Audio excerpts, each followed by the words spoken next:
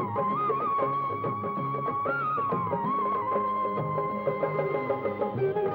you.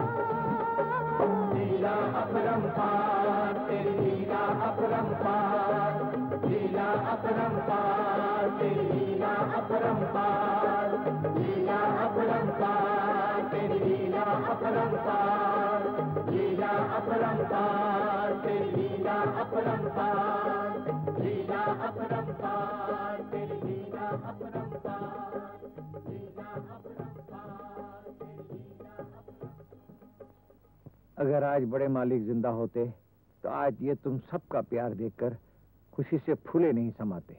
हाँ वंशी काका। पिताजी का साया भी हमारे सर से उठ गया। अरे तभी तो भगवान ने छोटी मालकिन को इस घर में बहू बनाकर भेजा है। जिसने कभी इन बच्चों को माँ की कमी महसूस होने नहीं दी। छोड़ो ना बंसी काका। सुबह सुबह ये क्या बात छेड़ दी? पहले ये बताओ नाश्ता तैयार है या नहीं? छोटी मालकिन नाश्ता तो सुबह से तैयार है। आप लोग चलो चलो जल्दी करो बंसी काका पेट में चूहे कूद रहे हैं। चलो बेटा। अरे अरे को नाश्ता चाहिए। मैं उसको भी नाश्ता दे के आता हूँ। आप लोग चलो चलो आया गंगूत्री अरे आ रहा हूँ काय को बम मारती है? ले तेरे लिए प्रसाद लाया हूँ। अरे सारी उम्र सेवा करते करते मैं बुढ़ा हो गया हूँ। ले खा। अरे खा। मैं तेरे लिए चारा भी लाता हूँ। इस घर में तेरी सिवा और कोई नहीं है मेरा। सारी उम्र तेरी सेवा करनी पड़ती है। मैं तेरे लिए चारा भी लाता हूँ। हाँ हाँ बस बस बस। अरे अरे अरे ओहो कितने दे दिया।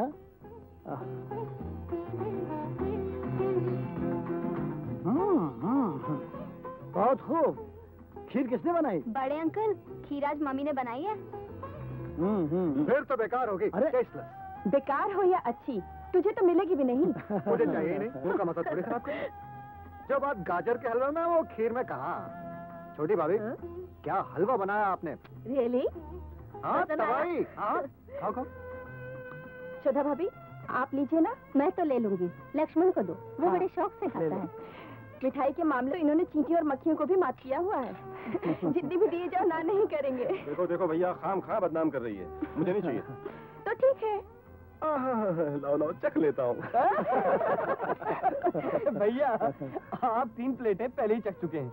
अगर इसी तरह चखते रहे ना तो शक्कर का भाव और बढ़ जाएगा। तो क्या हुआ अंकल? डैडी गुड़ से काम चला लेंगे। फिर तो गुड़ भी महँगा हो जाएगा। तो क्या हुआ? गुड्डे के काम चला लेंगे। क्यों डैडी? और भैया अभी शुद्ध घी में बना स्वादिष्ट गाजर का हलवा बाकी है। अरे देवर जी गाजर के हलवे की इतनी तारीफें किए जा रहे हो। जिसने खीर खाई है जरा उससे भी तो पूछ के देखो। अरे हाँ भाई खीर बनाने में तुम्हारी भाभी का जवाब नहीं। हम्म लो। अरे थोड़ी चख के तो देखो उंगलियाँ चाटते रह जाओगे। अब भैया आप कह रहे हैं तो मैं थोड़ी सी चख ऐसा क्यों नहीं कहते कि खीर देख के मुँह में पानी आ रहा है? हा? अब ऐसी तो कोई बात नहीं है भैया। ऐसी कोई बात नहीं सच्ची? हाँ। तो फिर रहने दे। हाँ? नहीं रहने दे। अरे भाभी बुरा मान छोड़, छोड़। छोड़ दे। भैया इंसिस्ट कर रहे हैं। अरे पेट खराब हो जाएगा ज़बरदस्ती खाएगा। अरे होगा तो मेरा होगा ना। क्यों झगड़ते हो? देखो ना भाभी तुम तीनों की आदतें तो मैं खूब जानती हूँ। कुछ मेरी आदत का भी पता है। क्यों? हाँ? छोटे मालिक मुझे पता है। हाँ। आपकी क्या ज़रूरत है नाश्ते के बाद? और वो हमेशा तुम लाते हो हाँ, हाँ, हाँ, हाँ। लाओ ए, ए, लो देखा हाँ पाँच पाँच पाँच बहुत अच्छा सिगरेट है हम्म, जलाओ मैं छोटे मालिक की हर ज़रूरत की चीज़ पूरी करता हूँ हर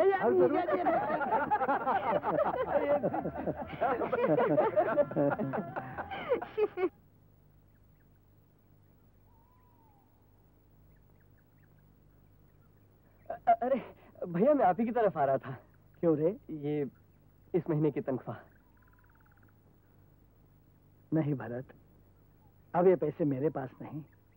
नीलम बहू को दिया करो। नहीं भैया आपको घर का कर्जा भी तो देना है ना? हाँ वो तो है लेकिन अब अब अरे भरत मेरी बात तो सुन।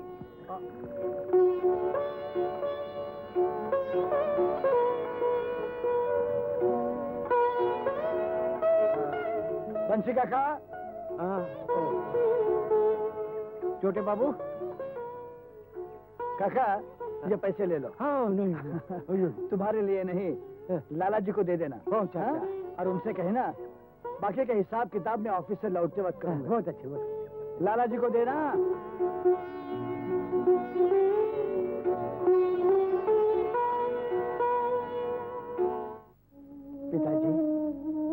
आपने जो मुझ पर ज़िम्मेदारी सौंपी थी उसे पूरी करने की मैं कोशिश कर रहा शुमान भरत अब अपने पैरों पे खड़े हैं। आनंद डॉक्टर हो जाए तो उसके तरफ़ से भी मेरी चिंता दूर हो जाएगी। वो तो हो ही जाएगी। तुम्हारे घर वाले मान जाएँगे? हाँ मेरे भैया कभी इनकार नहीं करेंगे। हम्म? भैया? हाँ बड़े भैया। वही मेरे सब कुछ हैं। तब तो मुझे तुम्हारे बड़े भैया से ही बात करनी पड़ेगी। क्या? तुम? अरे ना ना ना ना ना। तुमने बात करी तो बहुत मुसीबत हो जाएगी। क्यों? अरे मेरे भैया बहुत गुस्से वाले अच्छा? हाँ उनको एक बार गुस्सा आ गया तो बाप रे बाप। क्या कर लेंगे? अरे सब गड़बड़ हो जाएगा। इधर की चीज़ उधर उधर की चीज़ उधर। तबाहियाँ अच्छा पापा ये बताओ कि तुम्हारे घर में और कौन कौन है? मेरा एक छोटा सा परिवार है। हम्म, मेरे तीन भाई हम्म? मेरी तीन भाभियाँ। और एक छोटी सी। मिसेस डिसोजा's लेक्चर वो she so conscious about her hair style हमेशा जब यूँ और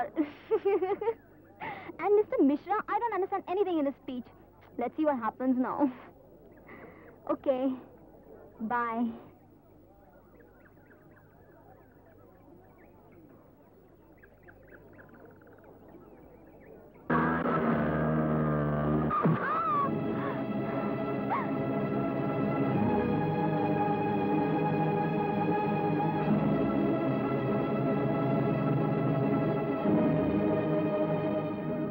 sorry कहीं लगी तो नहीं? शट अप अगर मोटरसाइकिल चलाने का इतना ही शौक है तो ये रईसी चश्मा उतार कर चलाया करो। वरना जेल की हवा खप समझे? समझ गया। विकी लड़की क्या है?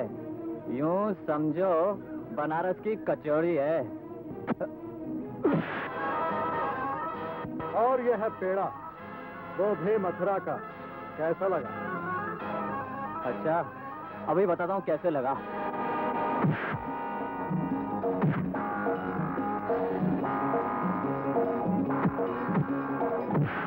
रुक हट जाओ कविता। जाओ। इसने नगीना को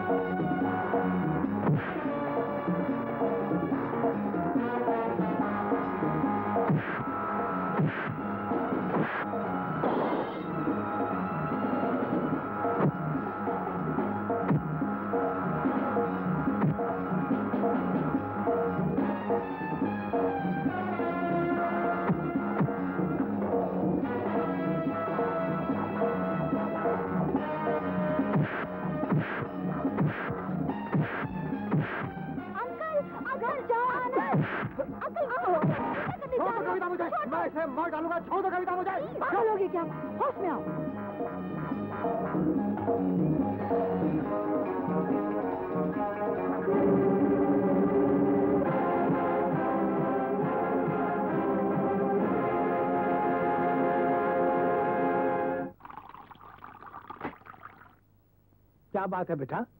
बहुत गुस्से में हो? डैड कल से मैं कॉलेज नहीं जाऊँगा। क्यों? किसी से झगड़ा हुआ क्या? झगड़ा? नहीं तो। देखो बेटा जवानी के जोश में कहीं बाप की इज़्ज़त को मट्टी में न मिला देना। ओ नो डैड आप तो बस शराब अपने बाप से झूठ बोलते हुए शर्म नहीं आती तुम्हें? ये तुम्हारे मुँह पर निशान कैसा है? कराटे की प्रैक्टिस कर रहा था भाभी माँ जरा सी टाइमिंग गलत हो गई थोड़ी सी लग गई। तू इसे थोड़ी सी कह रहा है? इतना बड़ा घाव है। ऐसे खेल मत खेला करो जिससे जान का खतरा हो। अरे ओ भगवान! मैं तो कहता हूँ कि ऐसे खेल ज़रूर खेलने चाहिए। हाँ। हाँ। जब तक आदमी खतरों का सामना नहीं करेगा हिम्मत कैसी बढ़ेगी? तुम चुप रहो जी। मेरा तो दिल बैठा जा रहा है। आ, पद्मा! ओ पद्मा! आई भाभी! क्या था ना? तो ऐसे चोटे हम्म, यूँ ही हँसते खेलते बर्दाश्त करता था। अच्छा? हाँ हाँ। तुझे शक है? आ, नहीं नहीं, हाँ? नहीं। हाँ अरे मेरे बहादुरी के चर्चे तो हाँ हाँ हाँ हाँ। हाँ? हाँ। हाँ हाँ। पूछो। हाँ बेशक। भाभी माँ। हाँ हाँ हाँ खाले खाले डर गए। क्या हुआ? देखो पद्मा इसे दूध में हल्दी डालकर पिला दो। दर्द कम हो जाएगा। अपने हाथों से पिलाना पड़ेगा। अच्छा बाबा पी लेना चलो। हाँ ले। इतना बड़ा हो गया लेकिन इसका बचपन अभी तक नहीं गया। अरे ओ भगवान आ, वैसे तो मेरा बचपन अभी नहीं गया। हाँ। लो ये सिगरेट भी खत्म हो गई। आपको तो हर वक्त सिगरेट चाहिए। लगता है अब छोड़नी पड़ेगी। नौकरी से रिटायर जो होने वाला हूँ। आपकी नौकरी चली गई तो घर का खर्च कैसे चलेगा? अरे भगवान इसमें घबराने की क्या बात है? नौकरी चली गई तो क्या हुआ? मेरे हट्टे कट्टे तीन भाई जो है बुढ़ापे के सहारे की तीन लाठियाँ। और फिर आनंद आनंद जल्दी डॉक्टर बन जाएगा। मैं तो कहती हूँ आनंद की भी शादी कर दो। हम्म मैं भी यही सोचता हूँ। लक्ष्मण और भरत की शादी तो आपने कर्जा लेकर की थी। क्या आनंद की शादी भी? हम्म बिल्कुल नहीं। मुझे प्रोविडेंट फंड जो मिल रहा है। हटो जी मैं तुम्हारी इन चिकनी चुपड़ी बातों में नहीं आने वाली। घर में लड़की जवान हो रही है उसका भी तो कुछ सोचो। ओफो पद्मा। नगीना अभी बहुत छोटी है। उसकी शादी के बारे में सोचना ठीक नहीं। देखो जी जवान लड़कियाँ और पके हुए फल घर में ज़्यादा दिन नहीं रखते। तुम तो अच्छी तरह से जानती हो पद्मा कि हमारे पास इतना पैसा नहीं है। हाँ कल को राम भैया का फंड मिल जाए।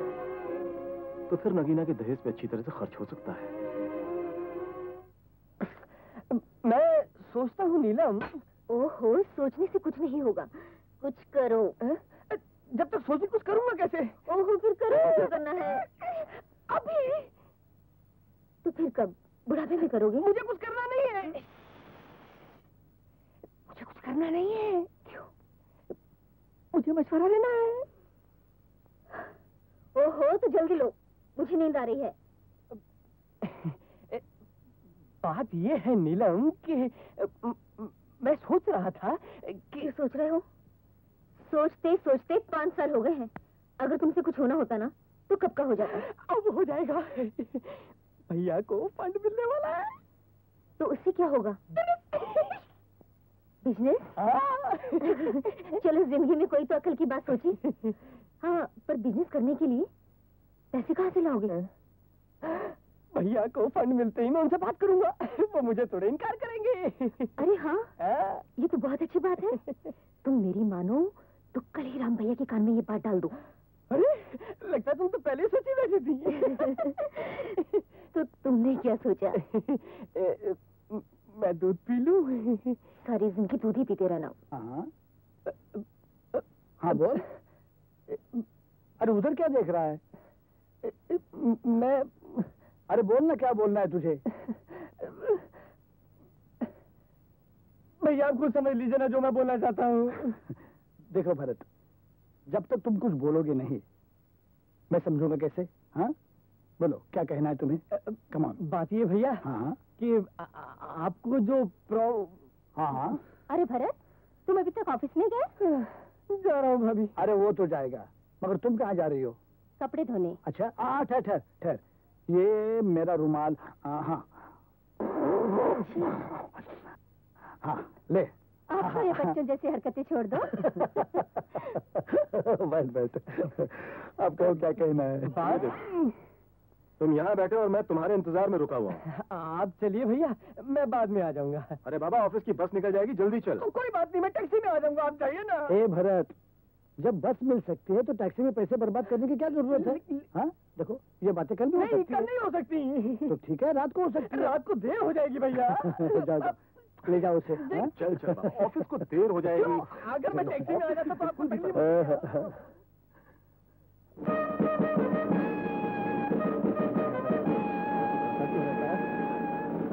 भैया भैया। आवाज़ तूने अरे भैया जब मेरे दो स्मार्ट हैंडसम भाई इकट्ठा घर से बाहर निकलते हैं तो मेरा सीना फूल के तारा सिंह जैसा हो जाता है। अरे भैया आपको मालूम है कि आपकी शक्ल और अक्ल हिंदुस्तान के टीवी स्टार लल्लू से कितनी मिलती है? कितने और लक्ष्मण भैया आप आप तो बिल्कुल डीन मार्टिन जैसे लगते हैं। एक तरफ़ से जय लुइस एक तरफ़ से रॉक हडसन पीछे से अमजद खान और विनोद खन्ना जैसे बस बस बस बस बस। ये बता तुझे क्या चाहिए?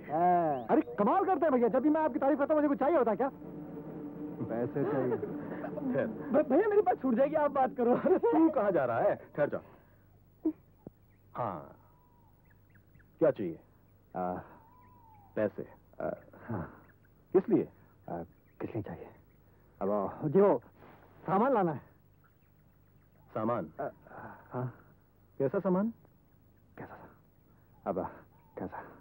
वो टेस्ट ट्यूब? हाँ टेस्ट ट्यूब वो वाला। हम्म। टेस्ट ट्यूब आज की एज में कितने ज़रूरी होते हैं हाँ। पर उसके लिए तो तुमने कल ही हमसे पैसे लिए। है, अब लिए थे भैया लेकिन पचास रुपए कम पड़ गए। हम्म कम पड़ गए। हाँ। फिर तो देने ही पड़ेंगे भाई। आप दे दीजिए ना दे रहा हूँ। ये तीस ही रुपए है मेरे पास तो। चलेंगे। हाँ, चलेंगे चलो चलो। बाकी के मैं भरत भैया से ले हाँ, दे दो भैया दे दो इसे। तो फिर मेरे पास क्या रहेगा? अरे मैं जो हूँ निकालो हूँ। भैया। दे दो इसे। हाँ हाँ? हाँ। ले हाँ? और दे लेना बड़ा कंजूस है यार ये। ये ले। हाँ। ये यार तो फिर मेरा कुछ नहीं रहता ना भैया। चल चल। अब आप लोग जा सकते हैं। ना आपने? चल, देर हो रही है यार जल्दी चल। नहीं मैं ये कह रहा हूँ कि टेस्ट ट्यूब कोई सस्ती नहीं मिलती। नहीं भैया बहुत महँगी चीज़ है। बहुत फिजूल खर्ची करता है तू। संभाल के खर्च किया कर पैसे। अच्छा तो मैं टैक्सी में ही चला जाता।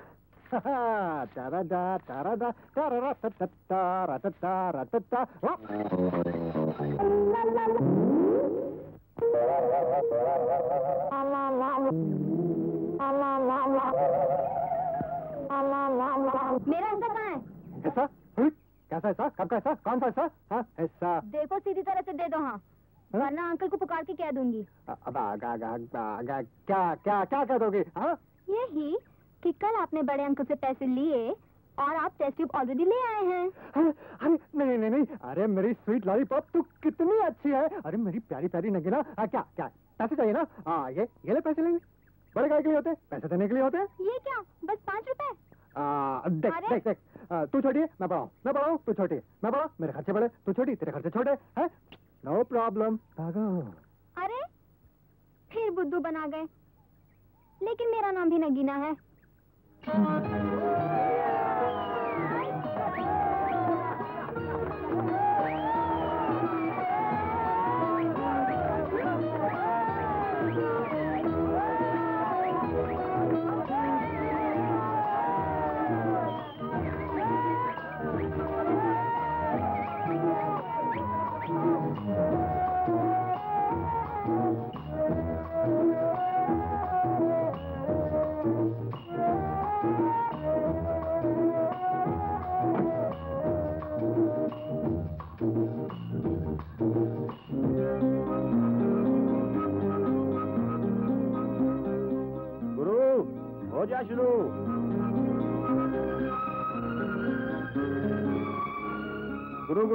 रही है।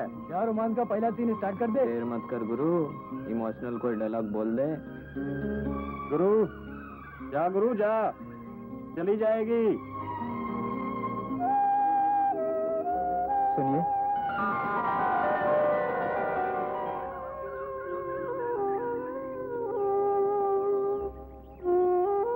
लगता है आप मुझसे अभी तक नाराज़ हैं। उस दिन की हुई गलती से मैं बहुत शर्मिंदा हूँ। प्लीज़ मुझे माफ़ कर दीजिए। तुम्हारा? लोग तो ज़िंदगी भर इंतज़ार करते हैं। और तुम? कितनी मुश्किल से झूठ बोलकर भाइयों से पैसे लेकर आया था। सोचा था फ़िल्म देखेंगे। ब्लैक में टिकट लेना पड़ी। अब अब अब मैं इसका क्या करूँ? I am so sorry darling sorry वारी कुछ नहीं। अब आप यहाँ बैठकर यहाँ के नज़ारे देखिए। मैं चला वनडे इंटरनेशनल अरे चोर चोर चोर चोर। अरे पकड़ो अरे पकड़ो अरे पकड़ो पकड़ो पकड़ो।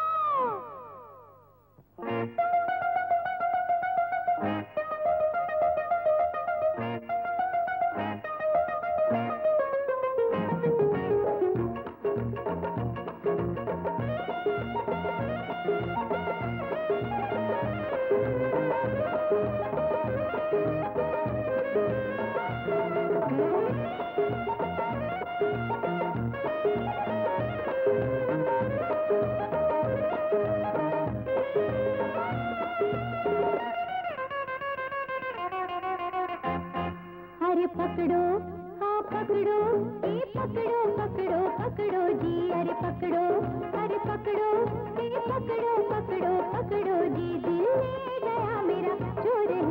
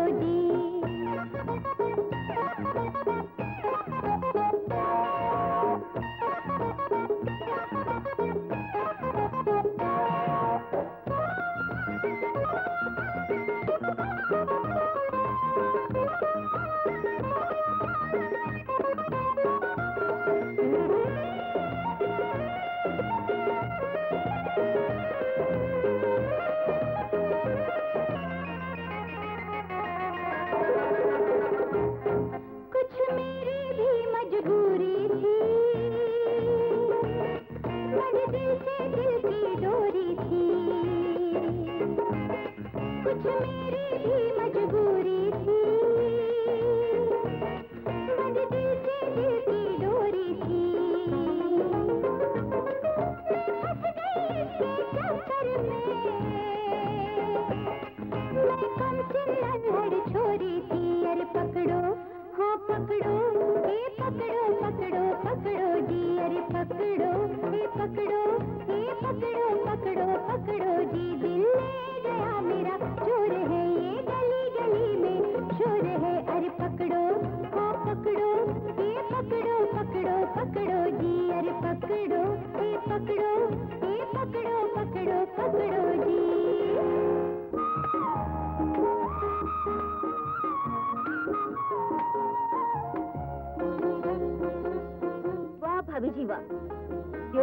बदनाम करने का अच्छा तरीका है। नीलम? और नहीं तो क्या? अब आप बताइए, कोई देखेगा तो क्या कहेगा कि देवरानियाँ टांग पसारे आराम कर रही हैं और घर की जेठानी से सारा काम करवा रही हैं। उठिए उठिए, कपड़े मैं धो लेती हूँ। उठिए। अब आपकी उम्र आराम करने की है। काम करने की नहीं, ज़्यादा आराम करना भी तो अच्छा नहीं लगता। और मुझे आपका काम करना अच्छा नहीं लगता। बिल्कुल ठीक। जब घर में दो दो देवरानियाँ हैं तो फिर आपको काम करने की क्या ज़रूरत है हाँ? श्रद्धा जरा इधर तो आ। चलता हूँ मैं। कहाँ जा रहे हो जी? भूल गई ना हाँ, भूल गई।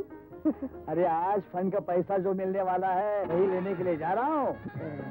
बंसी काका बाज़ार जा रहे हो सब्ज़ियाँ लेते आना। हाँ अरे गंगोत्री के लिए भी चारा ले आऊँगा। अजीब मुसीबत है।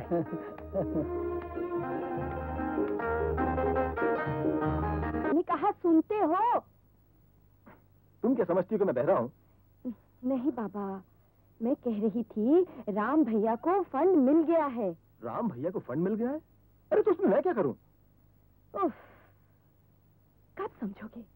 अरे उनसे बात करो। इससे अच्छा मौका फिर कभी नहीं मिलेगा। भैया अपने कमरे में अकेले बैठे हैं। सारी बातें आराम से कर सकते हो। वो तो ठीक है लेकिन आज ही तो पैसा मिला भैया को। इतनी जल्दी थोड़ी खर्च कर देंगे। ओहो क्या भरोसा? तुम एक अकेले भाई तो हो नहीं और भी तो है। नीलम। अरे भरत! भैया बुला रहे वो तुम्हें बुला रहे हैं। जो जो बातें समझाई है ना सब कर लेना। मैं कह देती हूँ जी हाँ। आनंद की शादी बड़ी धूमधाम से होनी चाहिए। तुम चिंता न करो श्रद्धा। छोटे की शादी में इतनी धूमधाम से करूँगा।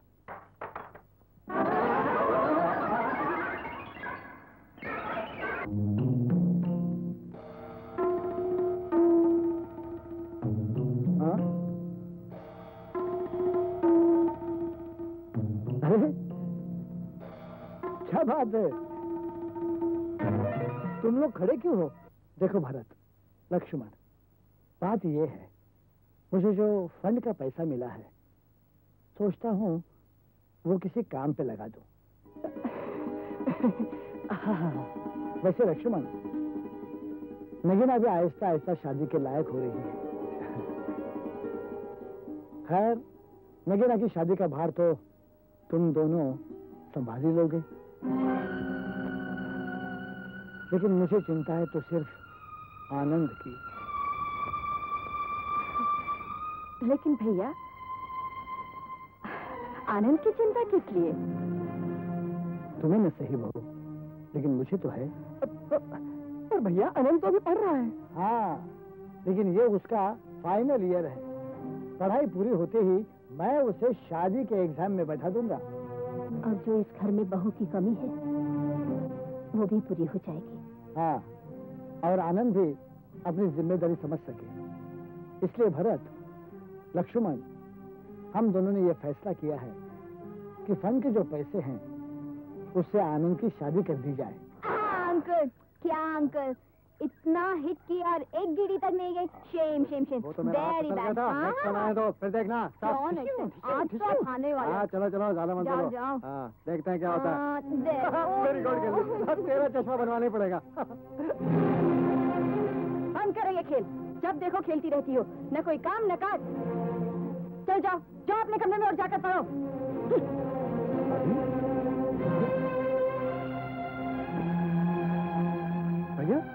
क्या हुआ भाभी को? देखो।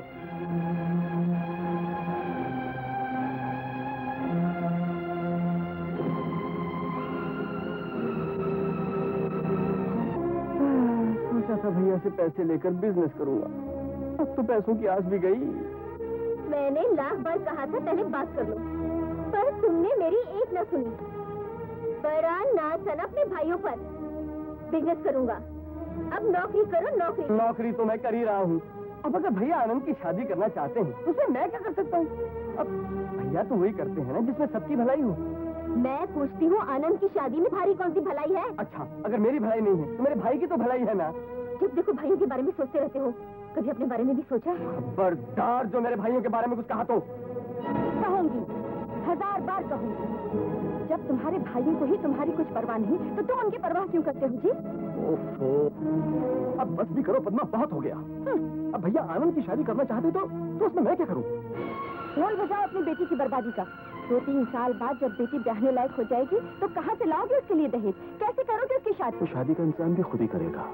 मैं पूछती हूँ आनंद की शादी की ऐसे भी क्या जल्दी है?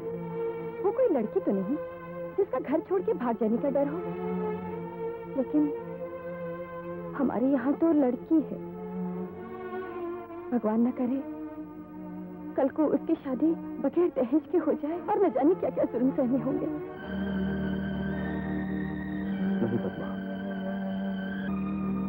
और कौन सा ऐसा बाप है जो अपनी बेटी के चेहरे पे मुस्कुराहट न देखना चाहता हो? तुम इतमान रखो, सब ठीक हो जाएगा। हाँ।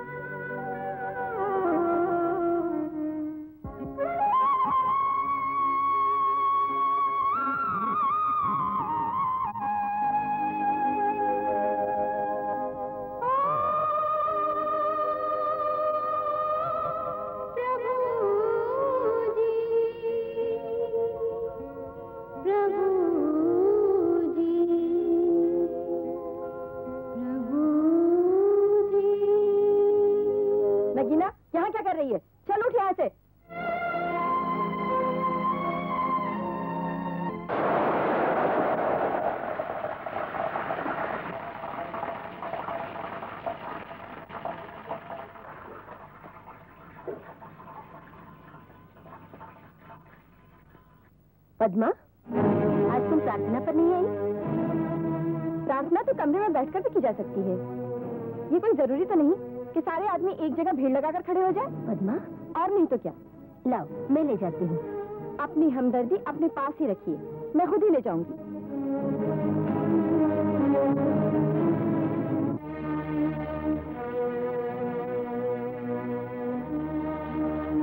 नीलम? कहिए क्या बात है नीलम? आज तुम और पद्मा कुछ बदली बदली से लग रही हो। कहीं मुझसे कोई भूल तो नहीं हुई? भूल? भूल तो छोटों से होती है। भला आप क्यों भूल करने लगी?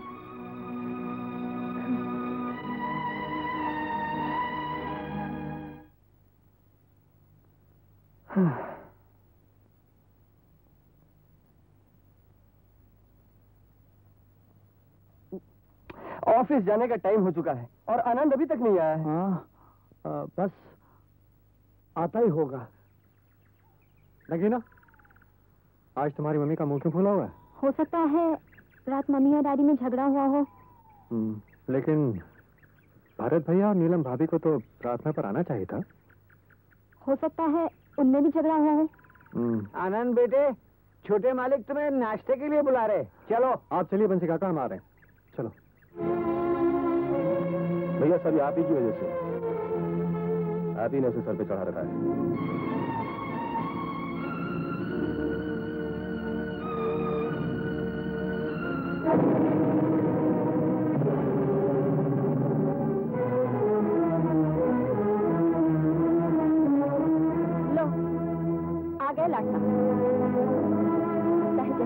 नौकर हैं, जो नाश्ते पर बैठकर इसका इंतज़ार कर रहे हैं। और नगीना, तू भी दिन पर दिन बिगड़ती चली जा रही है।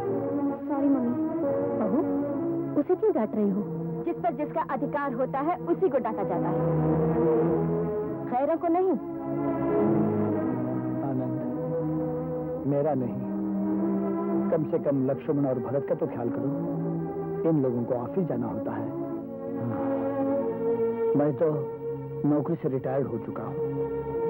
अब मेरी हैसियत कोने में पड़ी टूटी हुई कुर्सी से ज़्यादा कुछ भी ये क्या कर रहे हैं आप?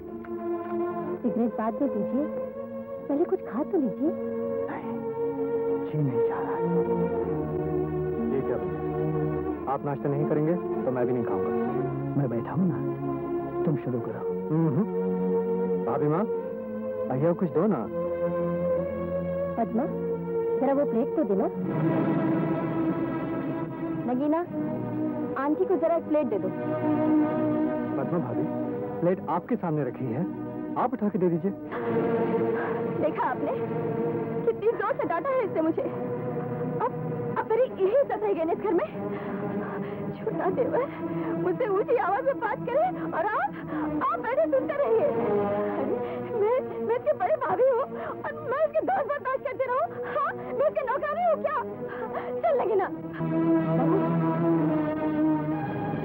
बड़ी भाभी से कैसे बात की जाती है? क्या इसकी भी तमीज भूल गए हो तुम? भैया, आप तो सिर्फ़ भाभी की ही सुनते हैं। बदतमीज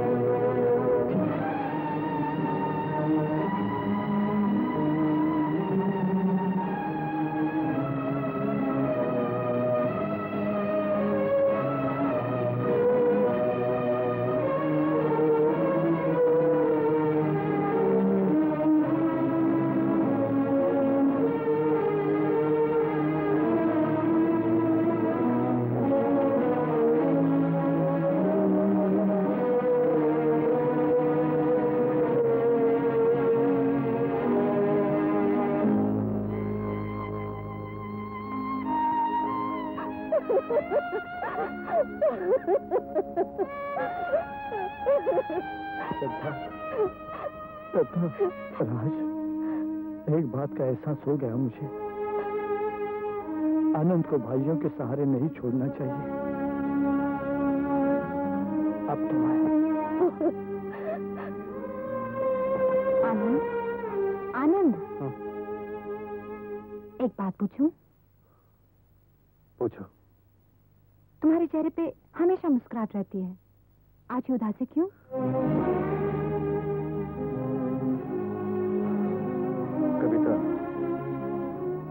कभी कभी इंसान के बिल्कुल करीब से ज़िंदगी के तूफानी लम्हे इतनी खामोशी से गुजर जाते हैं कि किसी को कानो कान तक खबर नहीं होती।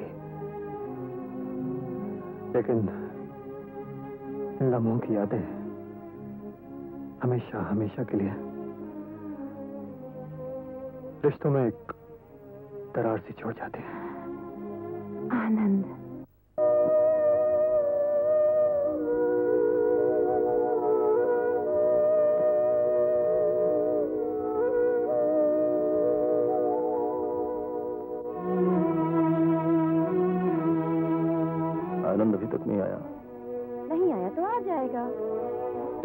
परेशान हो रहे हो।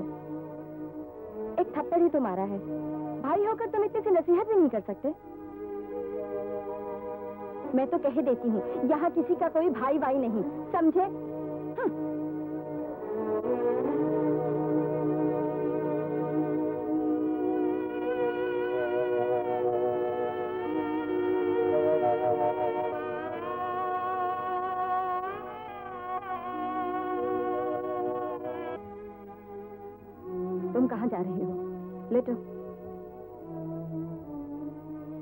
जब आँखों से ममता के आँसू बह रहे हो तो नींद कैसे आ सकती है? आई एम सॉरी भाभी माँ आई एम वेरी सॉरी भैया। आज मुझे आने में देर हो गई।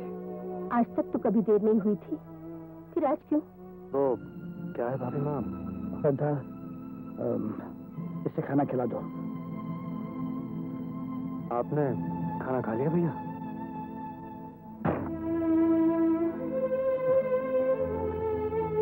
ढेर सारे ताने खा चुका हूँ।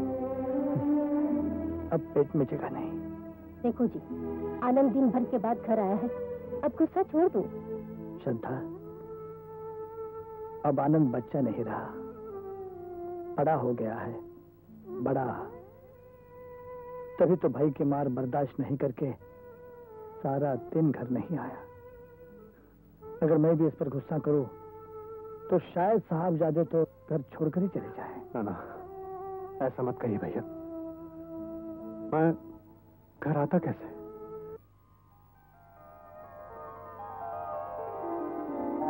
अजी सो गए क्या? बड़ी मुश्किल से नींद आ रही है सोने दो ना। सुबह फिर काम पे जाना है। मैं जब भी कोई अच्छी बात सोचती हूँ तुम्हारे सिर पर नींद का भूत सवार हो जाता है।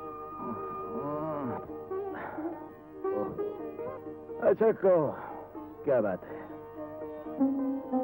राम भैया आनंद की शादी करना चाहते हैं ना? हाँ तो? अगर मैं अपनी बहन निर्मला के साथ उसकी शादी करवा दूँ तो? जो वो लोग दहेज देंगे वो भी इसी घर में आएगा। और जो राम भैया खर्चा करना चाहते हैं वो भी बच जाएगा। अरे वाह! इसीलिए औरत के दिमाग को दो धारी तलवार कहा है। जिधर से चाहो वार कर दो। हम्म।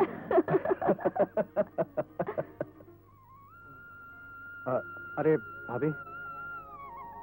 आनंद क्या बात है? कल जो मुझसे भूली उसके लिए मैं माफ़ी चाहता हूँ। हरगिज नहीं। तुम्हें उस भूल की सजा मिलेगी। अरे भाई सजा जब दोगी तब दोगी। अभी तो माफ़ कर दो उसे। प्लीज़ माफ़ किया।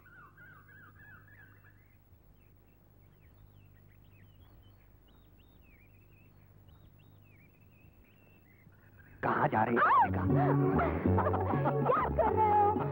आज बड़े खुश नज़र आ रहे हो? अरे जब मन रुका हो तो खुशी अपने आप गले लगी रहती है। और जब मैं पास रहती हूँ तो? हम्म, फिर फिर इस दिल को किसी गम की परवाह नहीं डर लगता है। कहीं मुझसे लापरवाह ना हो जाओ। जिस दिन मैं मैं भूलूँगा ना वो दिन मेरी ज़िंदगी का आखिरी दिन होगा। आनंद। हाँ कविता। आनंद वो वक्त बहुत मुश्किल से कटता है। जब तुमसे बात करने को जी चाहता है और तुम सामने नहीं होते। अब अच्छा ना सामने नहीं होता। अब देखो शादी के बाद तो हम दोनों हमेशा एक दूसरे के सामने रहेंगे ना कितने बोर हो जाएँगे एक दूसरे की शक्ल देख देख के हाँ? क्या कहा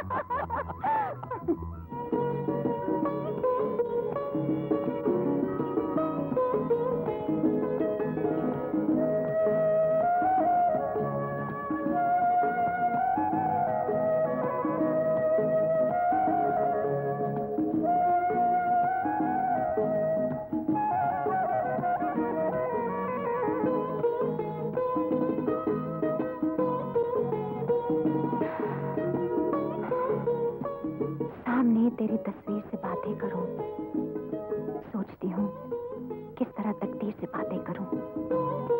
ए, वो दिन कब आएगा, जिस दिन तुम शहजादे बने, घोड़ी पे सवार होकर मुझे दुल्हन बनाकर ले जाओगे? ले जाओगे ना? जानती हूँ, प्यार करने वालों के अपने भी खैर होते हैं। मैंने तुम्हारे साथ ज़िंदगी निभाने के बड़े हसीन ख्वाब देखे हैं। कहीं ये ख्वाब अधूरे न रह जाए। आनंद।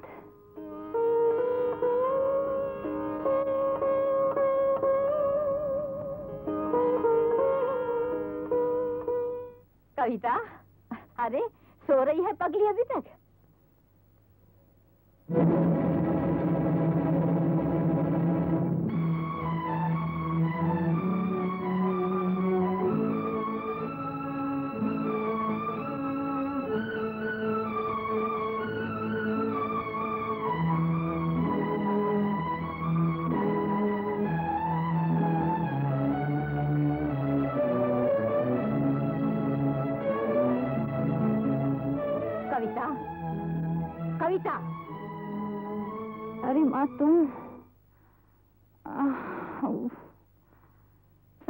आता कि मैं देर से उठी हूँ कि तुम्हारी आँख जल्दी खुल गई।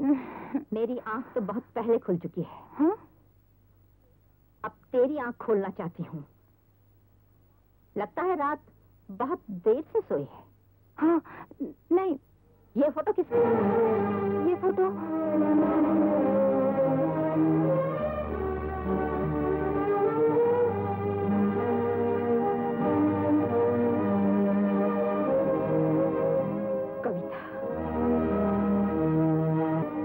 कोई लड़की किसी लड़के का फ़ोटो साथ लेके सोए। तो इसका मतलब होता है वो उससे प्यार करती है। हाँ माँ जवानी के सैलाब में जो डूब जाता है वो तक आहिस्ता आहिस्ता मरता है।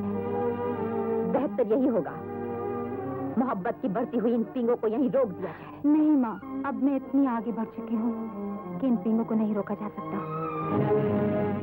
और आज अगर न रोका गया तुम्हारी ज़िंदगी बर्बाद हो जाएगी। दिल हथेली पर देकर फिरने वालों का कोई भरोसा नहीं। वो तो भंवरे हैं। आज इस फूल पर तो कल उस फूल पर। नहीं माँ वो ऐसे नहीं है। कौन कैसा है? ये मैं तुझसे बेहतर जानती हूँ। जो धोखा जवानी में मैं उठा चुकी हूँ अपनी बेटी को हम हर नहीं उठाने मुझे देख। मैंने मोहब्बत की थी और शादी भी जिसकी निशानी तू है? लेकिन फिर भी वो मुझे पाँच साल के बाद छोड़कर चला गया। ज़रूरी नहीं माँ कि दुनिया का हर मत एक जैसा हो। कविता मुझे नहीं मालूम था कि पढ़ लिख कर मेरी बेटी मुझे ऐसा जवाब देगी। माँ मैं जवाब नहीं दे रही सिर्फ़ अच्छे बुरे का फ़र्क बहुत खूब।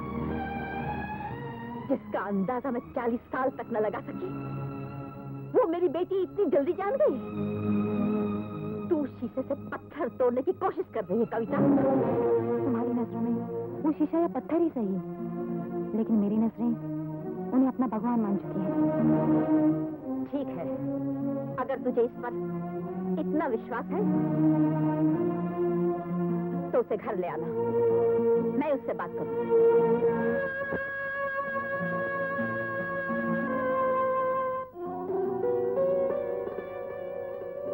तुम मुझे सचमुच प्यार करते हो?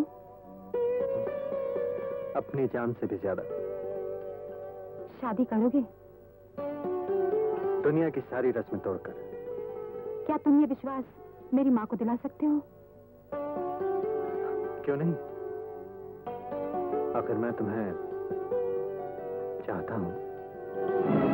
मेरी बेटी तुम्हें चाहती है या तुम मेरी बेटी को चाहते हो? हम दोनों एक दूसरे को चाहते हैं। चाहते हैं नहीं चाहते थे। आज के बाद तुम मेरी बेटी से नहीं मिलोगे। ये नामुमकिन है। तो फिर मुमकिन क्या है? शादी। आपकी नज़र में कोई अटूट बंधन हो तो बाँध दीजिए। मैं बनने के लिए तैयार हूँ। मुझे जज्बाती बातों से बहकाने की कोशिश मत करो। मैं आपको बहकाने की नहीं सही राह पे लाने की कोशिश कर रहा हूँ। जिसे तुम सही राह कह रहे हो वो बदनामी के ग्रास में ले जाती है। बदनामी के गार में वो जाते हैं जिनके प्यार में वासना शामिल होती है। मैं कविता से सच्चा प्यार करता हूँ। मैं प्यार करने वालों से नफरत करती हूँ। आपकी इस नफरत को मैं हमदर्दी में बदल दूँगा। फिर भी मैं अपनी बेटी का हाथ तुम्हारे हाथ में कभी नहीं दूँगी। हाँ ये मेरा आखिरी फैसला है। दिलों के फैसले हालात से नहीं। जज्बात से किए जाते हैं। मैं शादी करूँगा तो सिर्फ़ कविता से। मेरे जज्बात का ये फैसला आखिर है।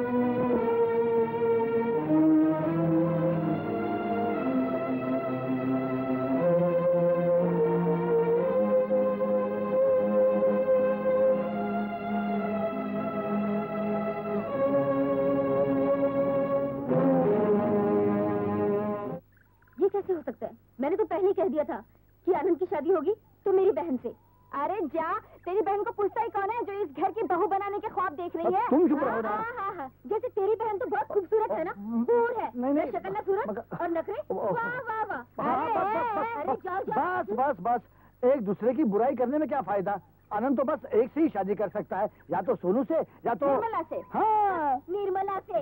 हाँ झगड़ा मत करो। उसने कुछ क्या हाँ, हाँ, बेशरम हाँ, कहेगी। तुम चुप रहो ना। देखा मुझे बेशरम कहा उसने और नहीं तो क्या बड़ों के मुँह लगते मेरी हैं बात सुबह से बात कर सुनो लिए सुनो ओहो। बढ़िया ही चुप कराने वाली।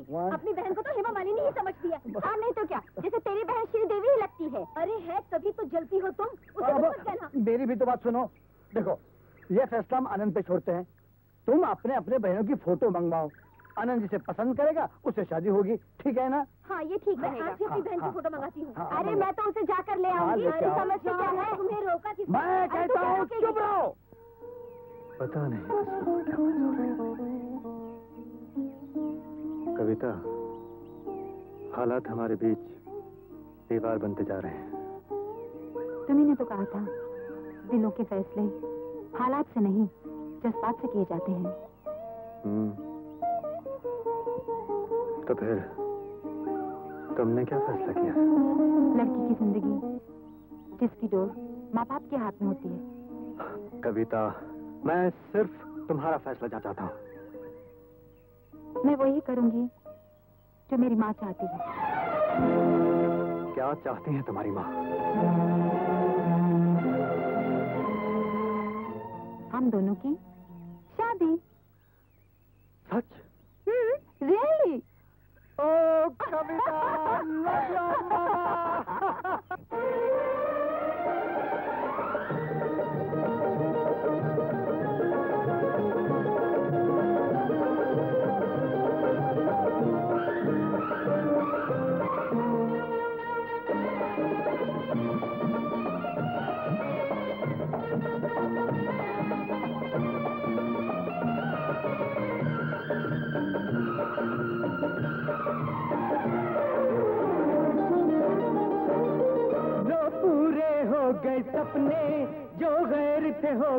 अपने ओ दिल पर जानिया।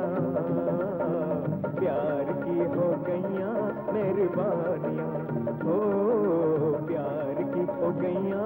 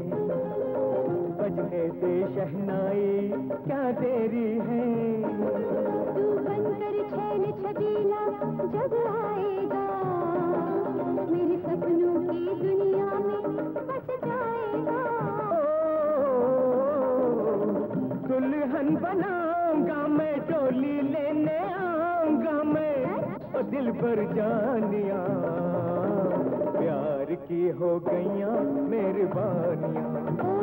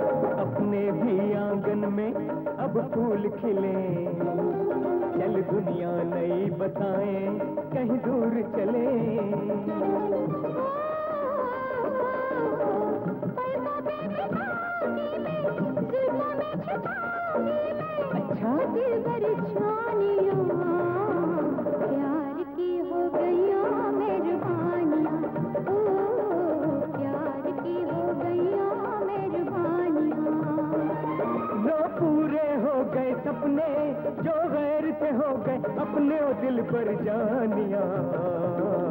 प्यार की हो गईया मेहरबानिया। ओ प्यार की हो गईया मेहरबानिया। हो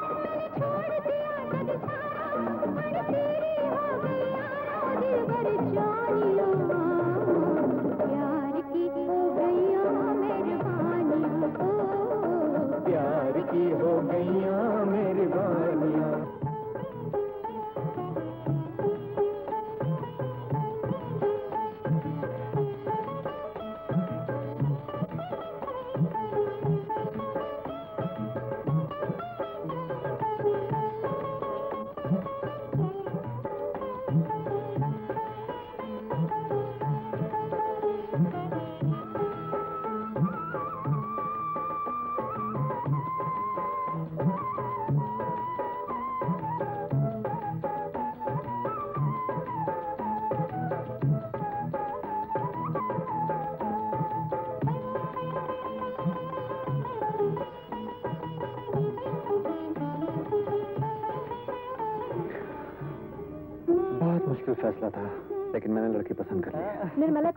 किया होगा? हम्म? जी नहीं। निर्मला को पूछते ही कौन है? देवर जी ने तो सोनू को ही पसंद किया होगा। है ना देवर जी न सोनू और न निर्मला। उसका नाम है कविता। कविता? ये कौन है? इस घर की होने वाली बहू। कोई भी ऐरी गैरी लड़की इस घर की बहू नहीं बन सकती। आई बात समझ में? और हाँ आनंद। तुम्हारी शादी वहीं होगी जहाँ हम चाहेंगे समझे? मुझे जिसके साथ ज़िंदगी निभाना है उसका फैसला आप नहीं करेंगे भैया। देख लिया कैसे पटर पटर जवाब दे रहा है। बात भाइयों के दरमियान हो रही है। अगर बोलने पर भी पाबंदी है तो हमारा ये बैठना बेकार है। चलो जी यहाँ हमारी कोई ज़रूरत नहीं।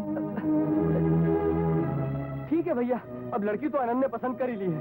अब आप जैसा ठीक समझे वैसा कर लीजिए। चलिए।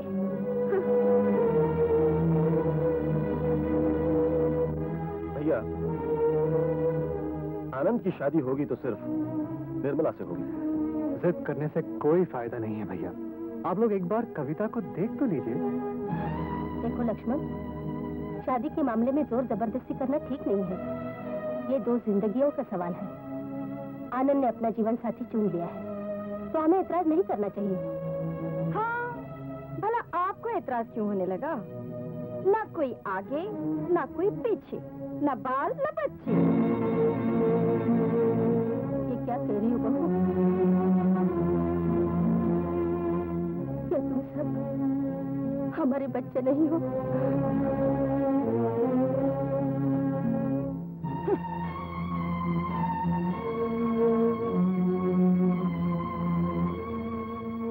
फैसला आपको करना है भैया।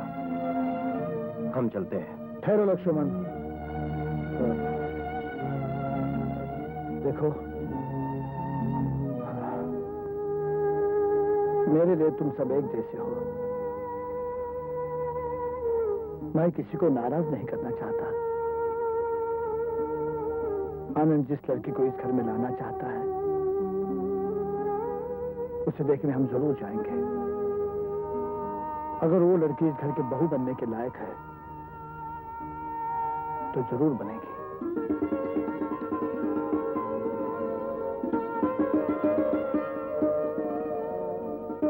तैयार हो गई कविता? जी। अरे जान सी गुड़िया लग रही है मेरी बच्ची। कहीं किसी की नज़र न लग जाए तुझे। मेरी बच्ची। इतने सालों में कभी सोचा भी नहीं था। तू भी एक दिन मेरे लिए बेगानी हो जाएगी।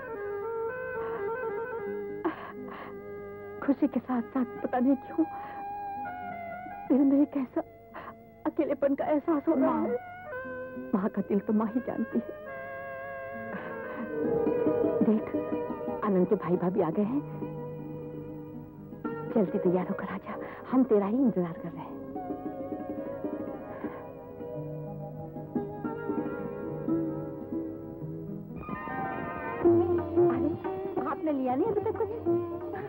कविता को आने दीजिए। उसी के साथ लेंगे लगता है कविता सामने आने से शर्मा रही है।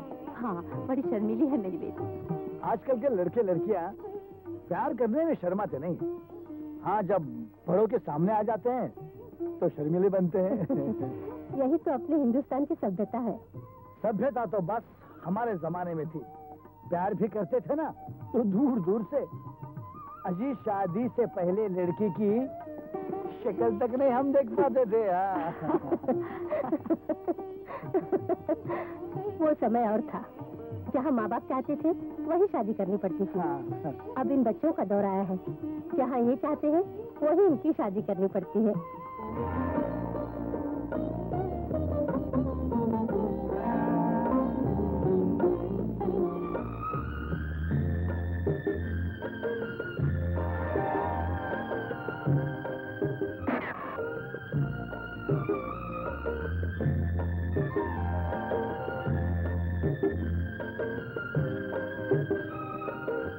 क्यों गई? आओ बेटी। आओ बैठो बेटी। श्रद्धा तुम्हारे देवर ने तो हमें कायल कर दिया। तुम्हारे क्या ख्याल है? मुझे तो बहु पसंद है। मेरी तरफ़ से बात पक्की समझो। बहन जी कविता आपके घराने की बहू बने। ये बहुत बड़े सौभाग्य की बात है।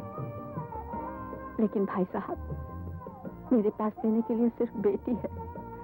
दहेज नहीं। बहन जी दहेज देना और दहेज लेना दोनों ही पाप है। और ये पाप मैं नहीं कर सकता। हमें जैसी बहू चाहिए थी वैसी मिल गई।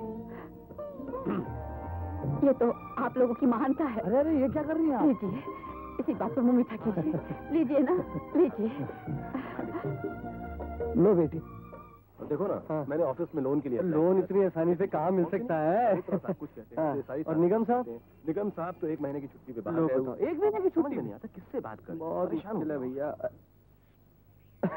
अरे वाह आप दोनों आज यही? जी हाँ हम दोनों आप लोगों का ही इंतज़ार कर रहे हैं। क्यों भाई क्या हो गया? कुछ हुआ नहीं होने वाला है। अच्छा क्या होने वाला है भाई?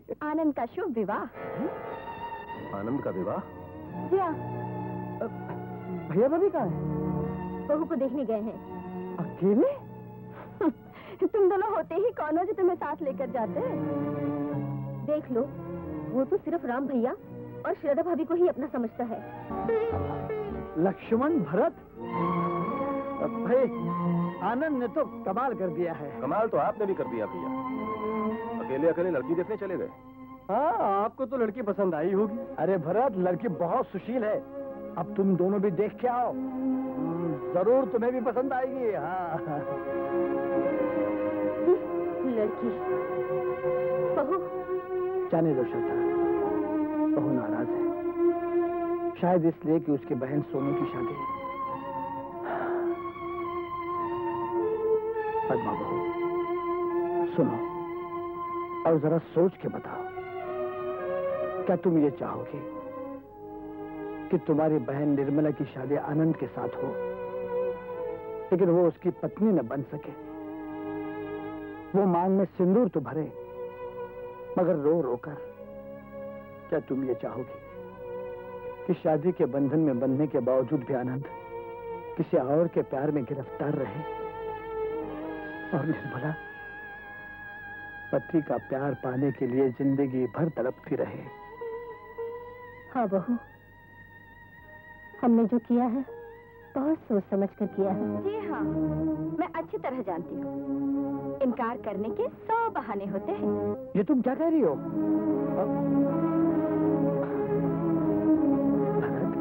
लक्ष्मण तुम तो समझदार हो। बताओ क्या मैं गलत कर रहा हूँ? भैया अगर आप ये ठीक समझते हैं तो फिर कीजिए। मगर मुझे अफसोस है कि मैं शादी में किसी किस्म की मदद नहीं कर सकता। लक्ष्मण। और भरत तुम? अब, मैं भी कैसे कर सकता हूँ भैया? आप तो जानती हैं कि गिनी चुनी तनख्वाह आती है। उसमें अपना ही गुजारा बड़ी मुश्किल से होता है। आज ये कैसी बातें कर रहे हो तुम लोग? मैं जानता हूँ। ये ऐसा क्यों कर रहे हैं? लेकिन तुम दोनों को मैं आनंद की ज़िंदगी से खेलने नहीं दूँगा।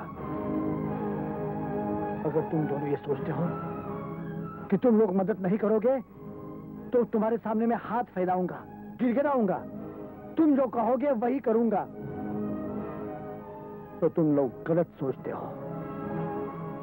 यह मत भूलो कि तुम दोनों की शादी मैंने अकेले के दम पे की थी। और आनंद की शादी भी मैं मैं अकेला ही करूँगा। हाँ अकेला ही करूँगा। भगवान क्या हो गया इन घर के लोगों को? मालिक सारा बोझ अपने कंधे पे लिए रखे बस तू ही रखवाला है भगवान। काका। हाँ। अरे व्हाट हैपेंड बांसी काका? एनी प्रॉब्लम आई मीन कोई समस्या? नहीं नहीं बेटे कुछ नहीं कुछ नहीं। बस तेरे छोटे अंकल की शादी हो जाए तो मन को तसल्ली हो जाएगी। मेरे कान शहनाई सुनने के लिए तरस रहे स्वाहा स्वाहा स्वाहा। इंद्राय स्वाहा, इंद्राय नमः स्वाहा, भागाय नमः, कामाय स्वाहा, कामाय नमः। जात वेद स्वाहा।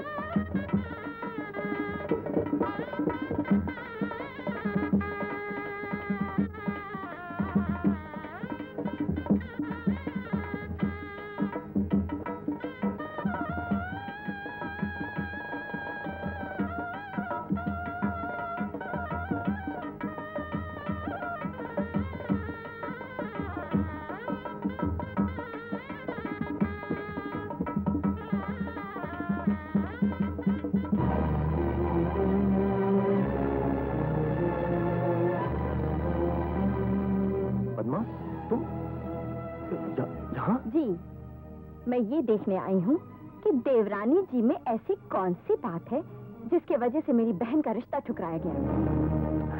जब हम लोग शादी में शामिल नहीं हुए तो फिर इन सब बातों से क्या फ़ायदा? आपको फ़ायदा हो या ना हो मुझे है समझे? तुम्हें समझना बहुत मुश्किल है। मैं जाता हूँ।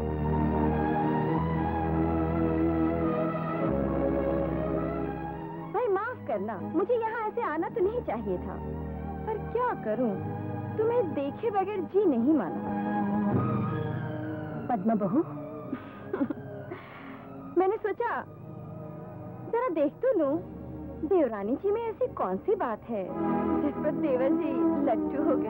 पद्मा इस वक्त तुम्हें यहाँ ऐसी बात नहीं करनी चाहिए। अरे आप तो बुरा मान गई। मैं तो मज़ाक कर रही थी। वैसे भी आजकल के लोगों का क्या भरोसा?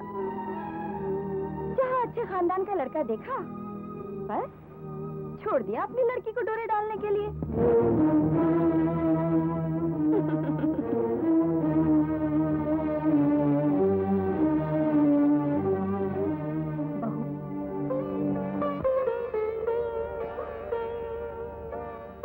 देखो बहू, पद्मा की बात का बुरा मत मानना। वो ज़ुबान की खराब ज़रूर है, मगर दिल की बुरी नहीं। ये लो। आनंद, देखो आनंद, आज से तुम्हारी नई ज़िंदगी शुरू हो रही है। तू दूध लाओ पुतो पलो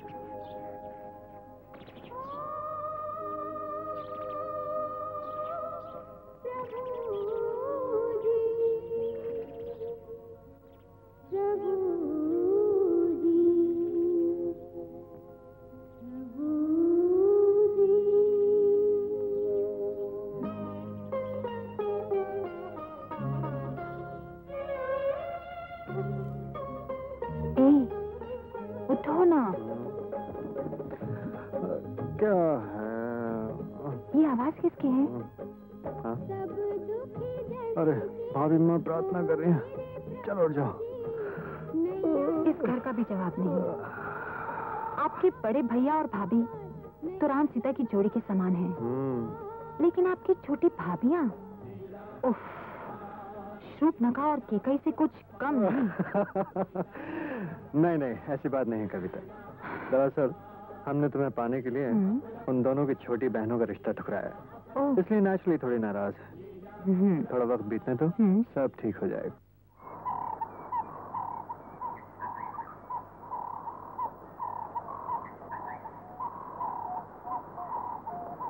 कितनी अच्छी गाड़ी है? तुम्हें पसंद है? बहुत। ऐसे चार गाड़ियाँ हमारे पास हैं। चार गाड़ियाँ? किराए पे चलती हैं क्या? नहीं दो मेरे लिए हैं और दो डैडी की हैं। तुम तो बहुत अमीर हो। फ़िलहाल तो आपका गुलाम हूँ।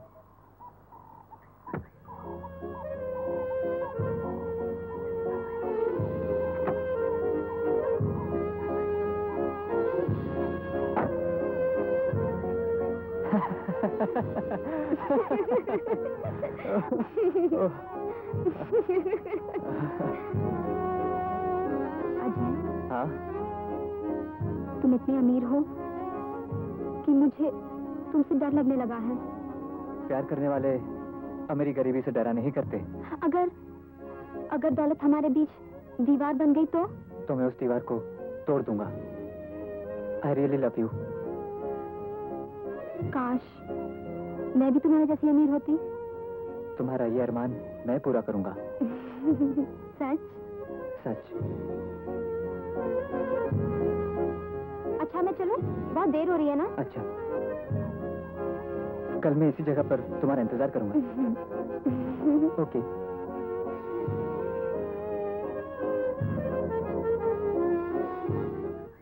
जियो गुरु जियो।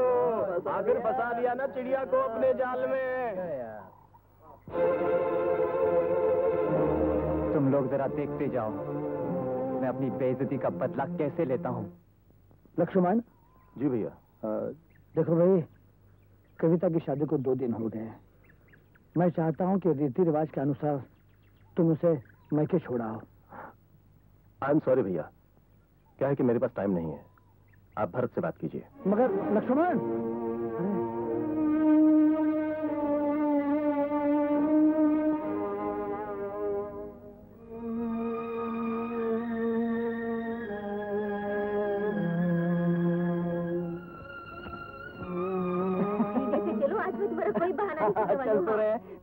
बताओ कौन सी आइसक्रीम खाओगी? सॉफ्टी या ऑरेंज जी भैया।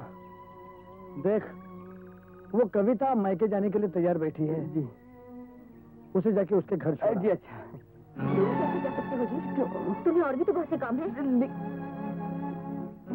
हाँ, हाँ, हाँ, हाँ, म- मैं कैसे जा सकता हूँ? मुझे तो और भी काम है ना। आप लक्ष्मण भैया से पूछ लीजिए ना।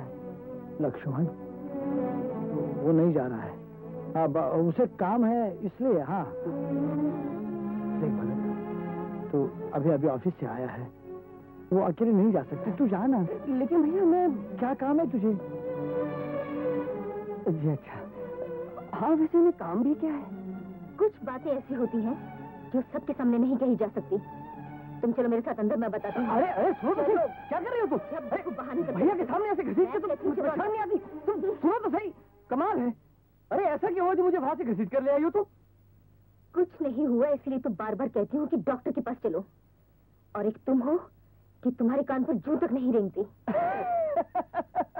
जब मेरे सर में जू नहीं है तो कान पे कैसे रहेंगेगी तुम्हें इतनी जल्दी क्या है? अच्छा ये बताओ हमारी शादी को कितने साल हुए? देखो मैं आखिरी बार कहती हूँ कि डॉक्टर के पास चलो। अगर तुम नहीं चले ना तो मैं मायके चली जाऊँगी। लेकिन लेकिन मुझे बीमारी क्या है? अपने गिरे में झाँक कर देखो। खुद पता चल जाएगा। वो तो एक मैं हूँ जो तुम्हारे साथ निभा कर रही हूँ।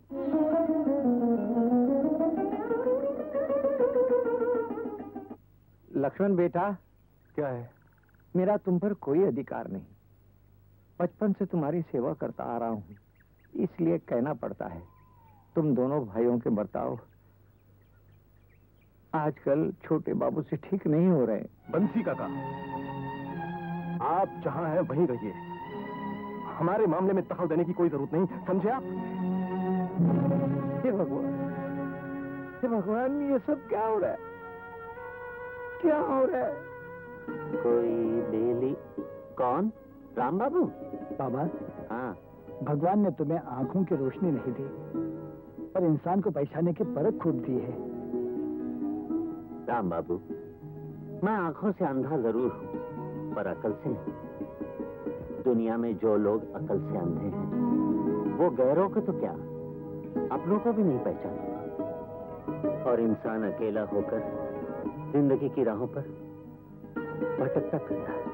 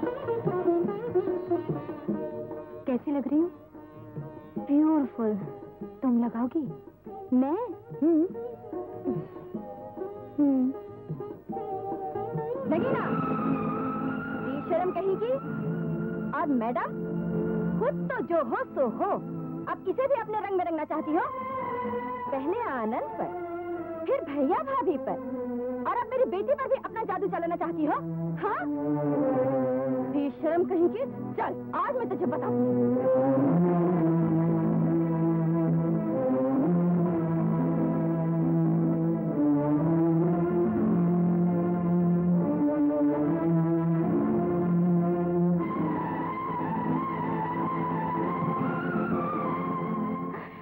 घर के सारे लोग तुझसे नफरत करते हैं, नफरत। तुझे इस घर में ऐशो आराम ज़रूर मिलेगा। ज़िंदगी नहीं।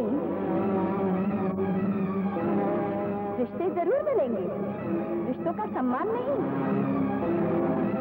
कभी नहीं। कभी नहीं। कभी नहीं। कभी नहीं।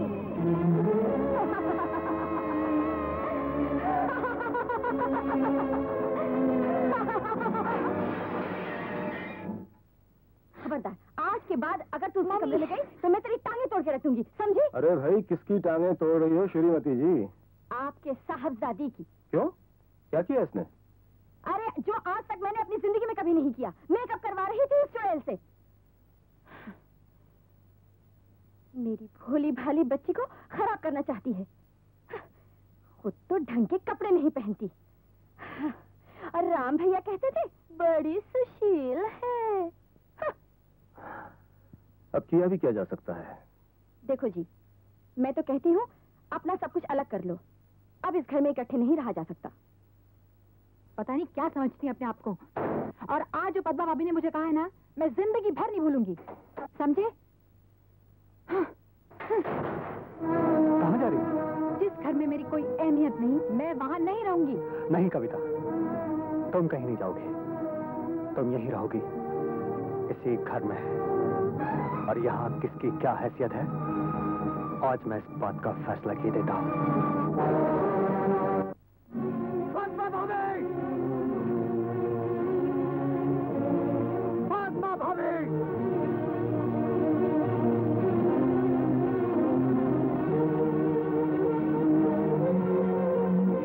क्यों चीख रहे हो देवर जी? इस वक्त तो मैं सिर्फ़ चीख रहा हूँ लेकिन आइंदा कविता से किसी ने कुछ कहा तो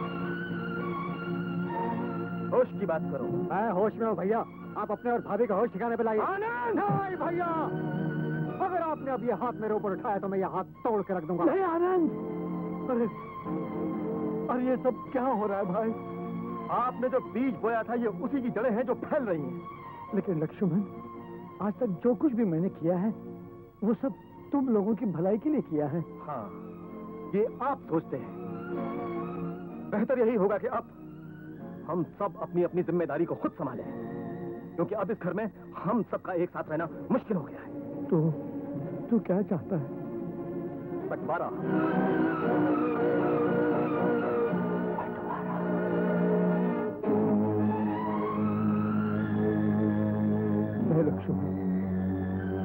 भगवान के लिए ऐसा मत करो। नहीं भैया बंटवारा तो होगा और ज़रूर होगा। लक्ष्मण जानते हो तुम क्या कह रहे हो? इसका अंजाम क्या होगा? भाभी माँ अंजाम जो होगा तो देखा जाएगा। मगर बंटवारा हम भी चाहते हैं। आखिर तुम सब लोगों को क्या हो गया है? कैसे बैठे बैठे बातें कर रहे हो? हे भगवान! आनंद तुम कुछ समझाओ इन लोगों को। जब सब लोग यही चाहते हैं तो आप बंटवारा कर क्यों नहीं देते? ये तू कह रहा है तू जिससे मैंने अपनी ममता निछावर कर दी पल पल अपने अरमानों का गला घोटती रही। अपनी कोख का त्याग करके तुम लोगों को औलाद की तरह पालती रही। पर अफसोस है कि मैं तुम्हारी माँ न बन सकी भाभी ही रही। भाभी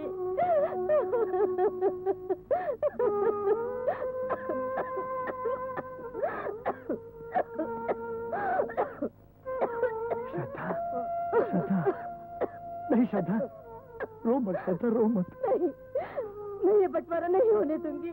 कहीं नहीं होने अरे भगवान अपने औलाद की तरह आज तक इन सब लोगों की खुशी हमने देखी है। आज अगर इस घर का बंटवारा करके ये लोग खुश हैं तो श्रद्धा इन्हें ये भी करने दो। हाँ, उन्हें ये भी करने दो।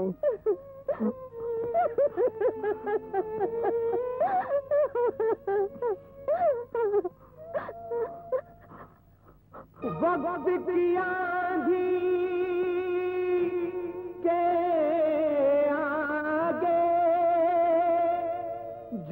झुकते तको ताज वक्त हंसाए वक्त रुलाए। सब कुछ वक्त के है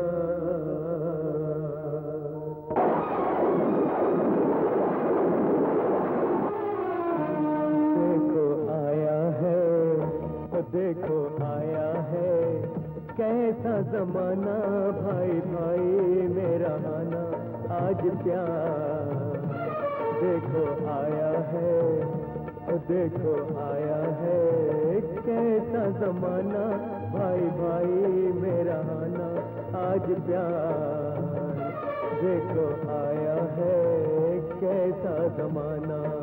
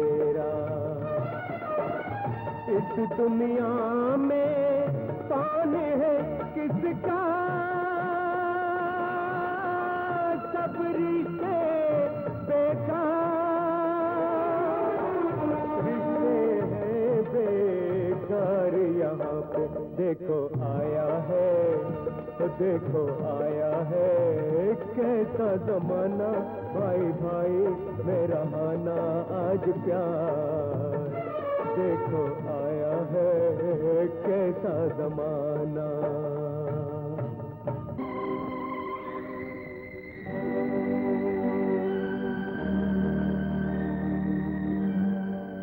ये क्या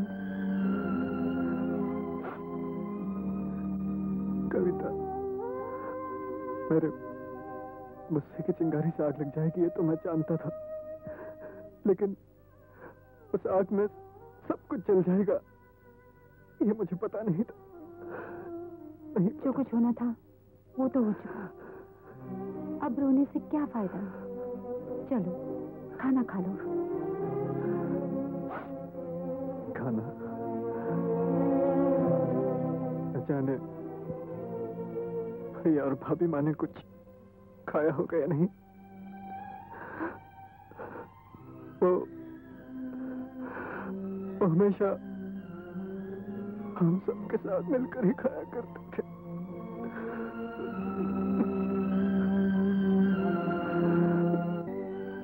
चाय तो पी लीजिए। जी नहीं करता बंसी का तो। कभी सोचा ही नहीं था कि ऐसा भी होगा। छोटे मालिक आप कब तक इस तरह आंसुओं में डूबे रहेंगे? बंसी काका अब आँसू ही हमारा मुकद्दर है। नहीं छोटे बाबू आँसू किसी के मुकद्दर नहीं बना सकते। आप क्यों धोखे में पड़े हैं?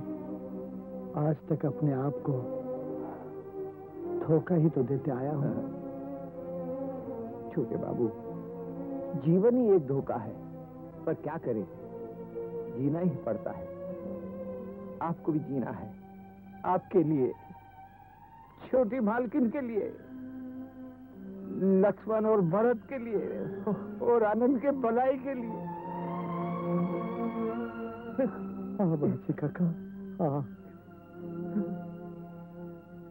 अगर सांसों के चलने को ही जीना कहते हैं तो मैं जीऊँगा।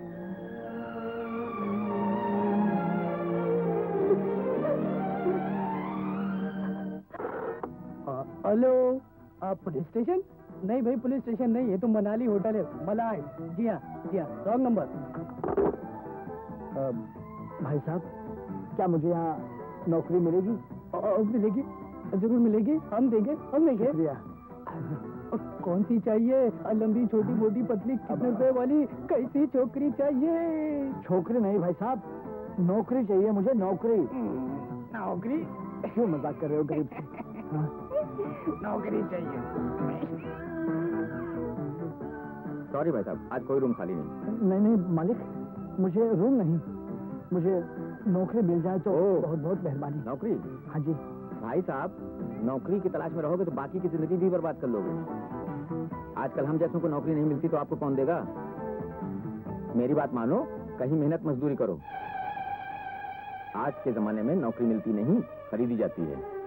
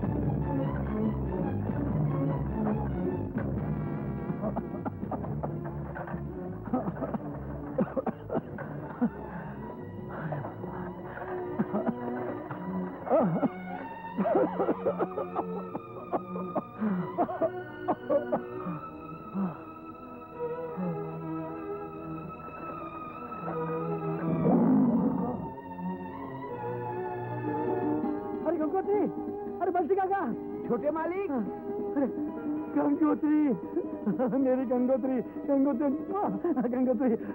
अरे भाई अरे भाई गंगोत्री को कहाँ लेके जा रहे हो? भाई कौन हो तुम? अब्दुल रहमान हाँ हाँ हाँ हाँ हाँ, ठीक है। मगर मगर कहाँ लेके जा रहे हो तुम इसे? अरे घर को ले जा रहा हूँ और कहाँ ले जा रहा हूँ इस महँगाई के दौर में? हाँ। क्यों भाई? ना ना तुम्हारे घर नहीं? हाँ ये तो हमारी घर है तुम्हारे घर क्यों? चोरी करके नहीं ला रहा हूँ। बरसुआ रोड से ला रहा हूँ और सौ के पाँच पाँच नोट दिए हैं इस महँगाई के दौर में। सौ के? ए भाई ए भाई मैं तुम्हें पाँच सौ रुपए देता हूँ। ये ये मुझे वापस कर दे। ये, ये मेरी गाड़ी है। पाँच सौ रुपए? हाँ। सौ रुपए ज़्यादा लूँगा इस महँगाई के दौर में? सौ रुपए? पाँच सौ छह सौ। ठीक है। हाँ हाँ, ठीक है। हाँ चल। अरे? गंगोत्री मैं मैं खुद को बेच दूँगा। चलो लेकिन तुझे बिकने नहीं दूँगा। हाँ चल चल चल चल चल गंगोत्री चल। मेरे घर चल गंगोत्री। गंगोत्री? हाँ हाँ। गंगोत्री? गंगोत्री तू हमें छोड़कर कहाँ चली गई थी? कहाँ से मिली श्रद्धा बहू ने इन्हें गंगोत्री भेज दी पाँच सौ में। हे भगवान। छह सौ रुपए है तेरे पास। हम इन्हें वापस लेते हैं। घर में तो पाँच पैसे भी नहीं है। लो सुन लो बात। घर में पैसे नहीं तो हमको खामखा के लिए परेशान किया। अरे अब तक तो हम ठिकाने पहुँच गए होते इस महँगाई के दौर में। सलाम दीन चल बे रुकिए भाई साहब। भाई? तुमने मुझे भाई कहा? वो भी इस महँगाई के दौर में।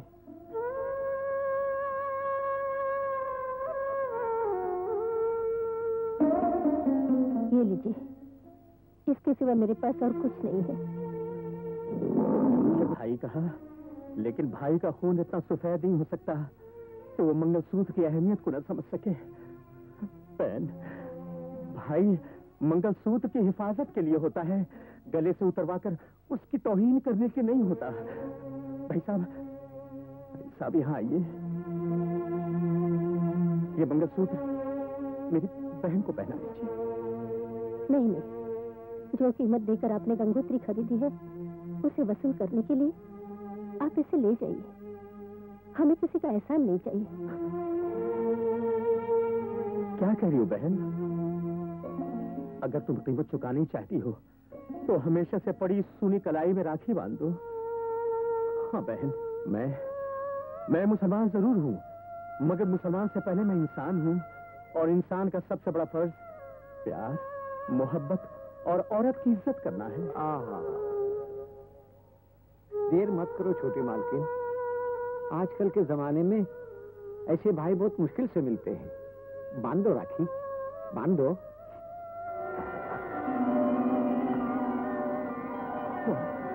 अब ये गाय मैं अपनी बहन को तोहफे में दे रहा हूँ। तोहफा कभी एहसान नहीं होता। बहन अगर ज़िंदगी किसी मोड़ पर भाई की ज़रूरत हो तो अब तो अब्दुल रहमान को आवाज़ देना, मैं हर हाल में तुम्हारे पास पहुँच जाऊँगा। सलाम दीन गाय बाँध दो।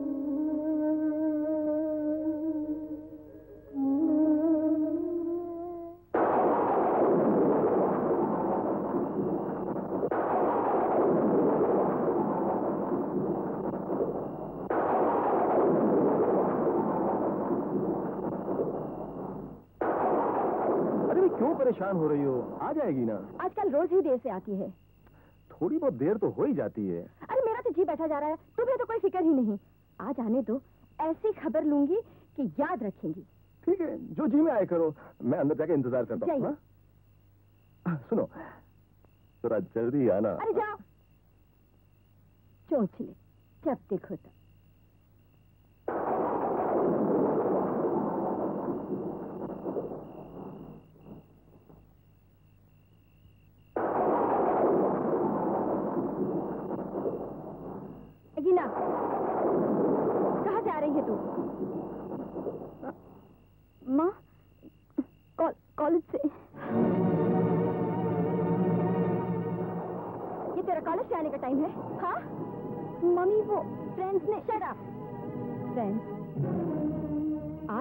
तेरे कदम कुछ ज़्यादा ही बहकने लगे हैं, नगीना। याद रख, अब तू बच्ची नहीं रही, जवान हो चुकी है। अंदर जा।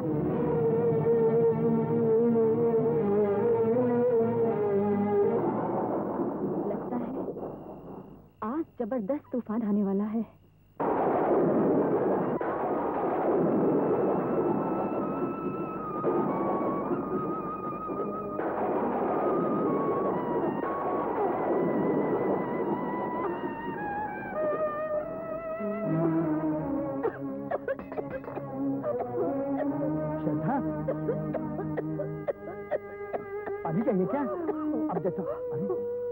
तो ज़्यादा खराब लगती है दवा ली मैं ठीक हूँ ठीक कैसी श्रद्धा सब कुछ तो लुट चुका है अब तुम भी ना ना ना ना ना ना श्रद्धा ना ना ना ना ना ना बंसी काका बंसी काका नहीं नहीं श्रद्धा नहीं तुम्हारे सिवा मैं जी नहीं मुझे छोड़ के मत जाना फूल बंसी काका डॉक्टर को जल्दी बुलाओ नहीं श्रद्धा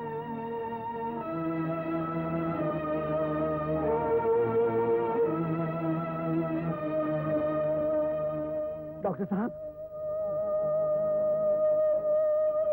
डॉक्टर साहब अब इनकी तबीयत कैसी है? पेशेंट की तबीयत बहुत खराब है। अगर ऑपरेशन न किया गया तो उनकी जान को खतरा हो सकता है। डॉक्टर साहब कुछ भी कीजिए लेकिन मेरी पत्नी को बचा लीजिए। I try my level best लेकिन इनके इलाज पर कम से कम पाँच हज़ार रुपया खर्चा होगा। आपको आज यहाँ पैसे की ज़रूरत खींच लाई है। ना ये बात नहीं बहू तुम सब तो हमेशा मेरे पास ही रहते हो। कभी दिल बनकर कभी दिल में याद बनकर। साफ़ साफ़ क्यों नहीं कहते? चापलूसी इसलिए कर रहे हैं कि पैसे चाहिए। आपको तो अपनी खुददारी पर बड़ा नर्स था। आज आपकी खुददारी खत्म हो गई है। या इसकी कीमत नहीं मिली? खुददारी खत्म होती तो मैं गैरों के सामने दया के लिए हाथ फैलाता। तुम्हारे सामने नहीं बहू दया मजबूर पर की जाती मगरूर पर नहीं। बस बहू बस। अपने अल्फाजों के नस्तर से और चलने मत करो मुझे। मत करो। बहुत तकलीफ़ हो रही है ना? इससे भी ज़्यादा तकलीफ़ मुझे हुई। जब आपने मेरी बहन का रिश्ता ठुकराकर अपने फंड का पैसा आनंद की शादी पर खर्चा किया था। लेकिन बहू वो वो तो मेरा फ़र्ज़ था। तो जाइए फैलाइए अपना हाथ उन्हीं के आगे। यहाँ क्या लेने आए?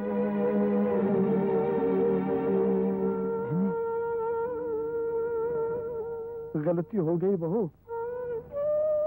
हाँ। गलती हो गई। माफ़ करना। मैंने रिश्तों को आज तक सिर्फ़ जज्बात की नज़र से देखा था, परखा नहीं था, क्योंकि तुम सब लोगों पे मेरा इतना विश्वास था, जितना अपने आप पे नहीं। लेकिन लेकिन आज मुझे एहसास हो गया है, विश्वास और जज्बात बारिश के उस पहली बूंद की तरह है, जो हकीकत के चट्टान से टकरा कर बिखर जाती है।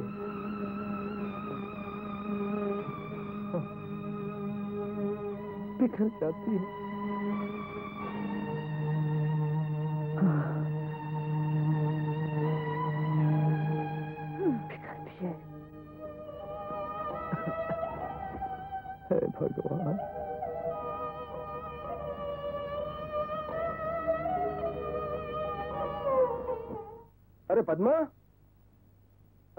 खड़ी हो और मैं तुम्हें ऊपर ढूंढ रहा हूँ। भाई मैं बाज़ार जा रहा हूँ। कुछ मंगाना है क्या? आ, हाँ। ये लीजिए। वो जो हार सुनार के यहाँ बल्ली को दिया हुआ है उसे लेते आइएगा। लेकिन इतने सारे रुपए? खाली भाई।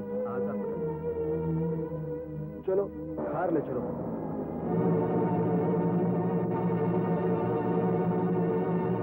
लेकिन ये जेवर कहाँ ले जा रहे हो? बेचने। बेचने? पागल तो नहीं हो गया आप?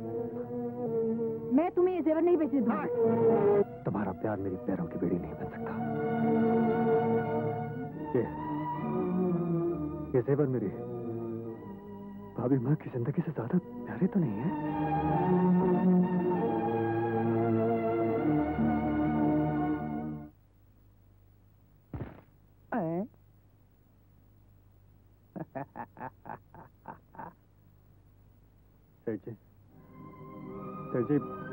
जल्दी से मुझे इन गहनों की कीमत चुका देखो तो दे भाया असली है या नकली? सब असली है सेठ जी। कटे तो चोरी करके लाए हुए भाया सेठ जी आपको मैं शक्ल से चोर दिखता हूँ। आजकल चोर सोकार में के पता लगे हैं भाया तीन हज़ार दू? तीन हज़ार? इन गहनों की क्या कीमत है ये आप अच्छी तरह जानते हैं सेठ जी।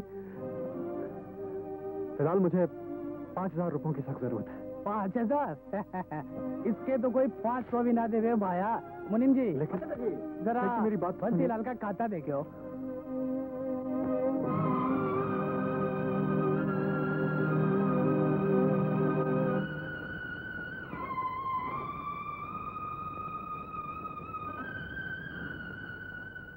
जी आप ये मेरा सब कुछ रख लीजिए लेकिन मुझे पाँच हज़ार रुपए दे दीजिए। इन सबका तो मैं चार हज़ार रुपए दे सकूँ भाया? चोर है। हाँ है। अब मेरी खोपड़ी में गुस्सा है। कहो तो वो भी निकाल दू? गुस्सा क्यों करे भाया? अब मुनिम जी एक पाँच हज़ार रुपए दियो। आ, ये लो गिन लो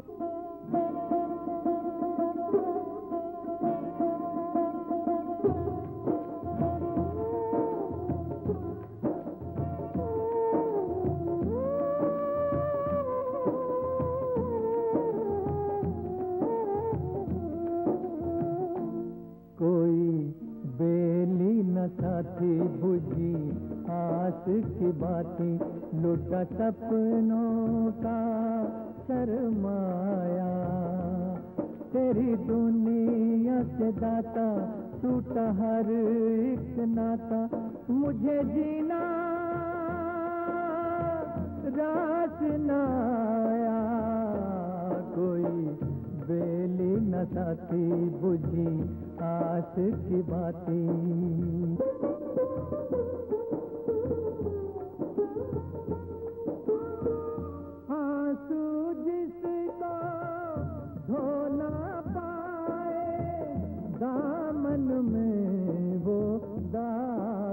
छुपाए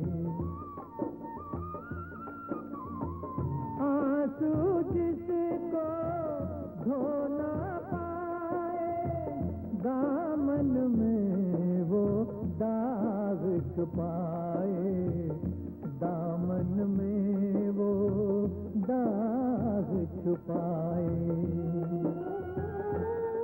दिल जलता रहेगा और सा रहेगा मेरे सीने में। दर्द पर आया कोई बेली न साथी, कोई बेली न साथी।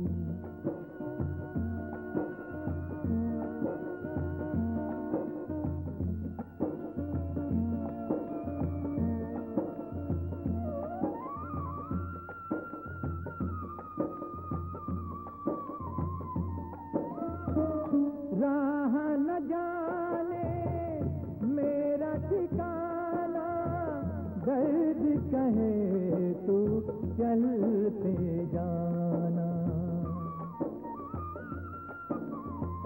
राह न जाने, मेरा ठिकाना दर्द कहे तू चलते जाना।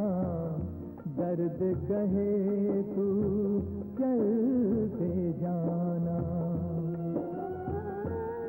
संग अपनों का छूटा, तकदीर ने लूटा, सुख छीने। खून रुलाया? कोई बेली न साथी बुझी, आस की बाती लुटा सपनों का शर्माया। तेरी दुनिया से दाता, टूटा हर एक नाता। मुझे जीना रास न आया। कोई बेली न साथी, कोई बेली न साथी, कोई बेली न साथी, कोई बेली न साथी। नहीं अजय मुझसे शादी करनी ही पड़ेगी। मैं फूल सुनता ज़रूर हूँ। उनका हार बनाकर गले में पहनना मेरी आदत नहीं। इसका मतलब तुमने मेरे साथ धोखा किया? नो डार्लिंग धोखा नहीं। एंजॉय किया एंजॉय लेकिन अजय मैं तुम्हारे बच्चे की माँ बनने वाली हूँ। माँ? माय डियर स्वीट डार्लिंग मेरे बाप के पास इतनी दौलत है। कि तुम्हारे दामन पर लगा दाग धुल सकता है। लेकिन मैं तो घर वालों की नज़रों में गिरकर जी नहीं सकती। पैसा हर गिरी हुई चीज़ को उठा देता है।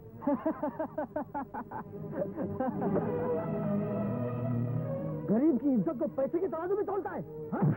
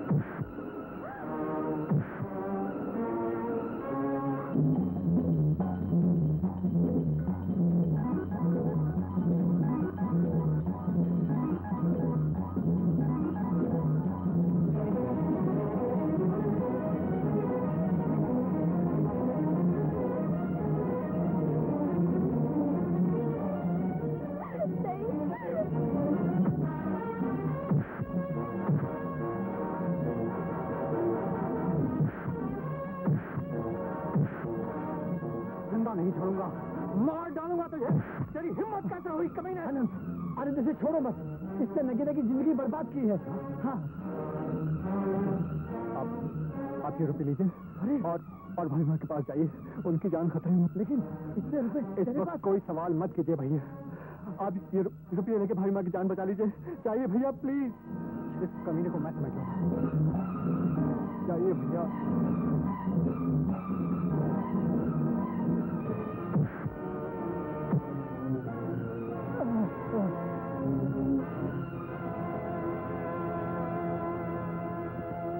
कौन हो तुम लोग? मैं कौन हूँ और ये लड़की कौन है?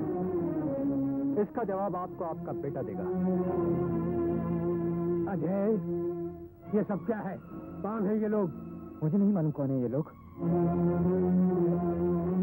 मैं नहीं जानता इन दोनों को। झूठ बोलता है ये! सेठ जी इसने मेरी भतीजी को अपनी वास्ता का शिकार बनाया। पूछिए इससे। ये झूठे डैडी तो फिर सच क्या है? वो वो तुम्हारी ज़ुबान को लड़ खड़ा गई बोलते क्यों नहीं तुम जिसकी जबान पर पाप का ताला पड़ चुका हो, वो भला बोल भी कैसे सकता है? बोलना तो आपको है सेठ जी क्या चाहते हो? अपनी भतीजी को आपके खानदान की बहू बनाना चाहता हूँ। अगर मैं कहूँ कि इस बात को यही खत्म कर दिया जाए तो? नहीं।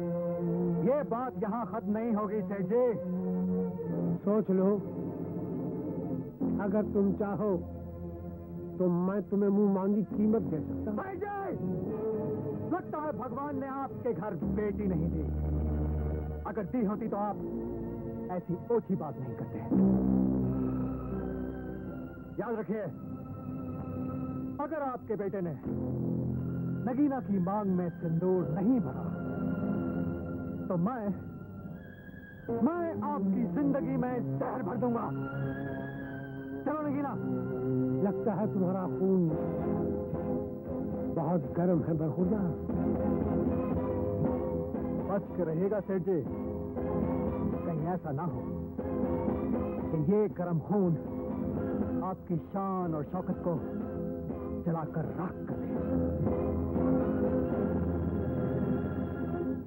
इनकी बातों में मत आइए डैडी। ये हमें फंसाना चाहते हैं। हट मेरी नज़र से।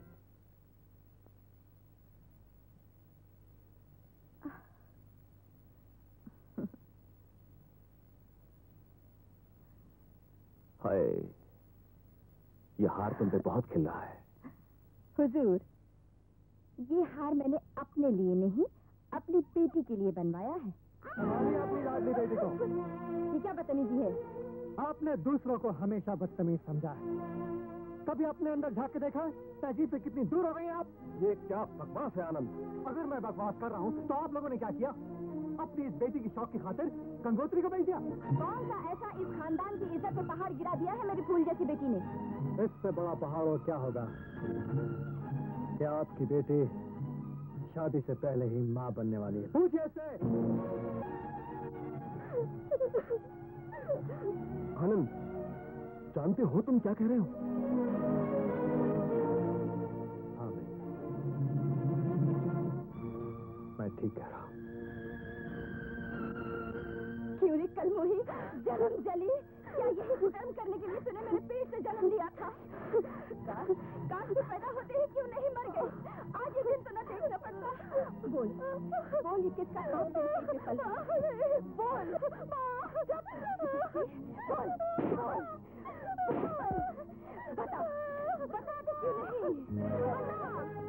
मैं बताता कौन है आप? मैं? उस बदनसीब बेटे का बाप हूँ, जिसके प्यार को पाप का नाम दिया जा रहा है। लेकिन भूल सिर्फ़ लड़के, या लड़की की नहीं, कसूर दोनों का है। इसलिए सजा भी दोनों को ही मिलनी चाहिए। यानी यानी दोनों की शादी।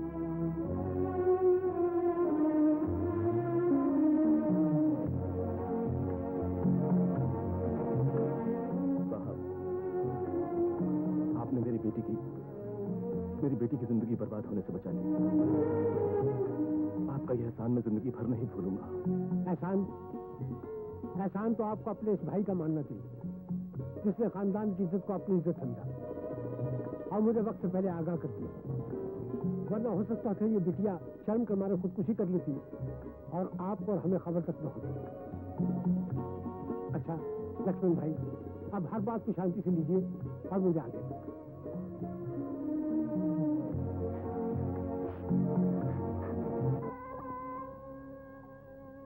आनंद। आनंद। मैं हमेशा अपने बड़ेपन का दबाव तुम पे डालता रहा। लेकिन आज आज मेरी नज़रें तुम्हारे सामने झुक गई हैं। मुझे माफ़ कर दो, मुझे माफ़ कर दो भैया। माफ़ी ही मांगना है तो बड़े भैया से मांगे जिन्हें हम सबने बेसहारा छोड़ दिया। आज आज उन्हें हमारी ज़रूरत है। अगर हम उन्हें अभी सहारा नहीं दिया तो हम सबको भाभी माँ की ज़िंदगी से हाथ धोना पड़ेगा भैया। क्या हुआ भाभी माँ भाभी माँ इस वक्त ज़िंदगी और मौत के दुराहे पे खड़ी हैं भैया। शायद पद्मा भाभी ने आपको कुछ बताया नहीं। राम भैया भाभी माँ के इलाज के लिए पद्मा भाभी से पाँच हज़ार रुपए लेने आए थे। मगर इन्होंने उन रुपयों का हार मंगवा लिया, लेकिन मैं राम भैया को पैसे नहीं दिए। क्या?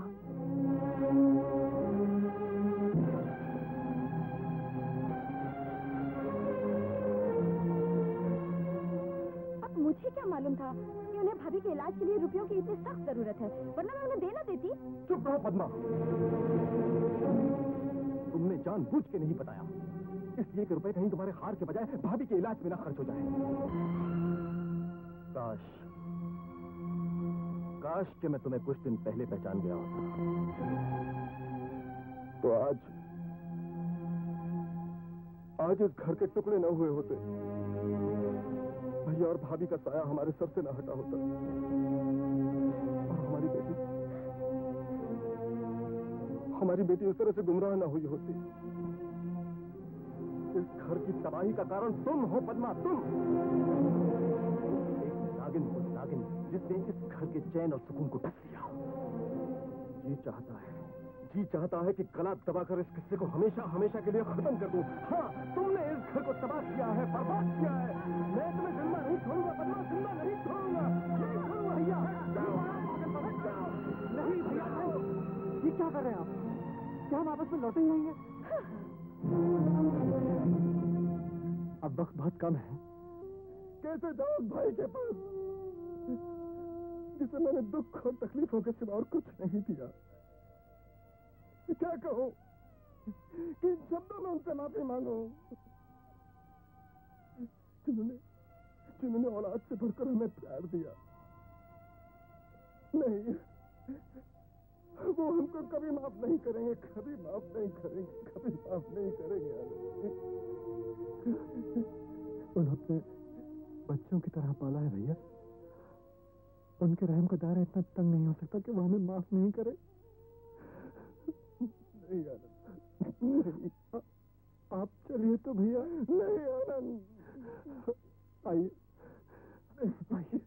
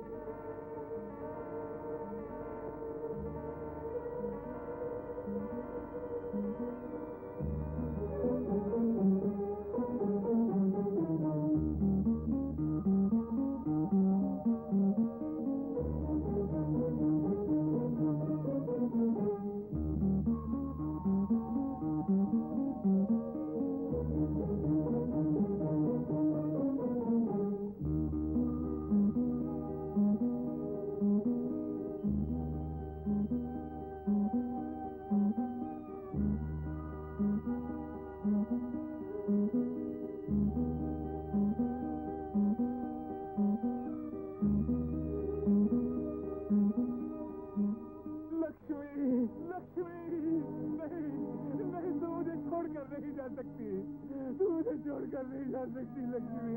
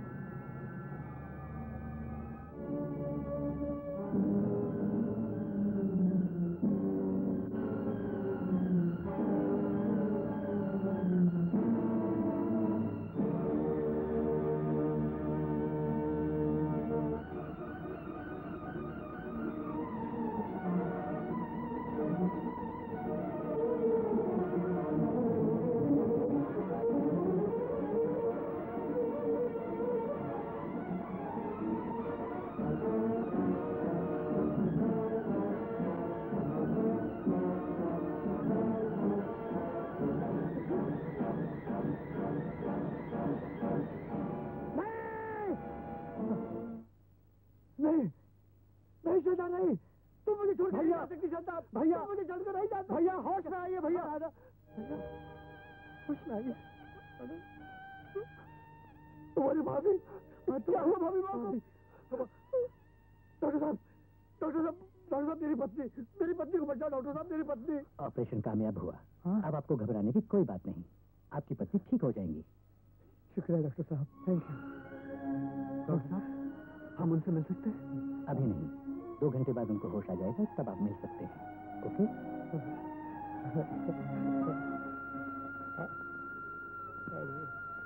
अरे मेरे भाई। लक्ष्मण मेरे भाई।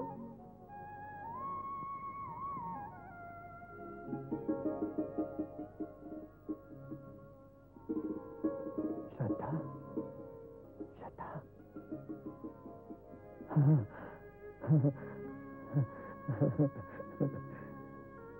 श्रद्धा देखो तो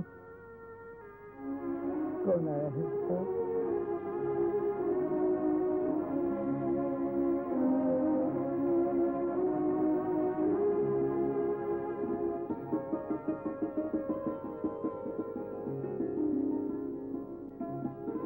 बहू वो सब घर में हाँ। तुम्हारा इंतज़ार कर रही है। हाँ, चलो घर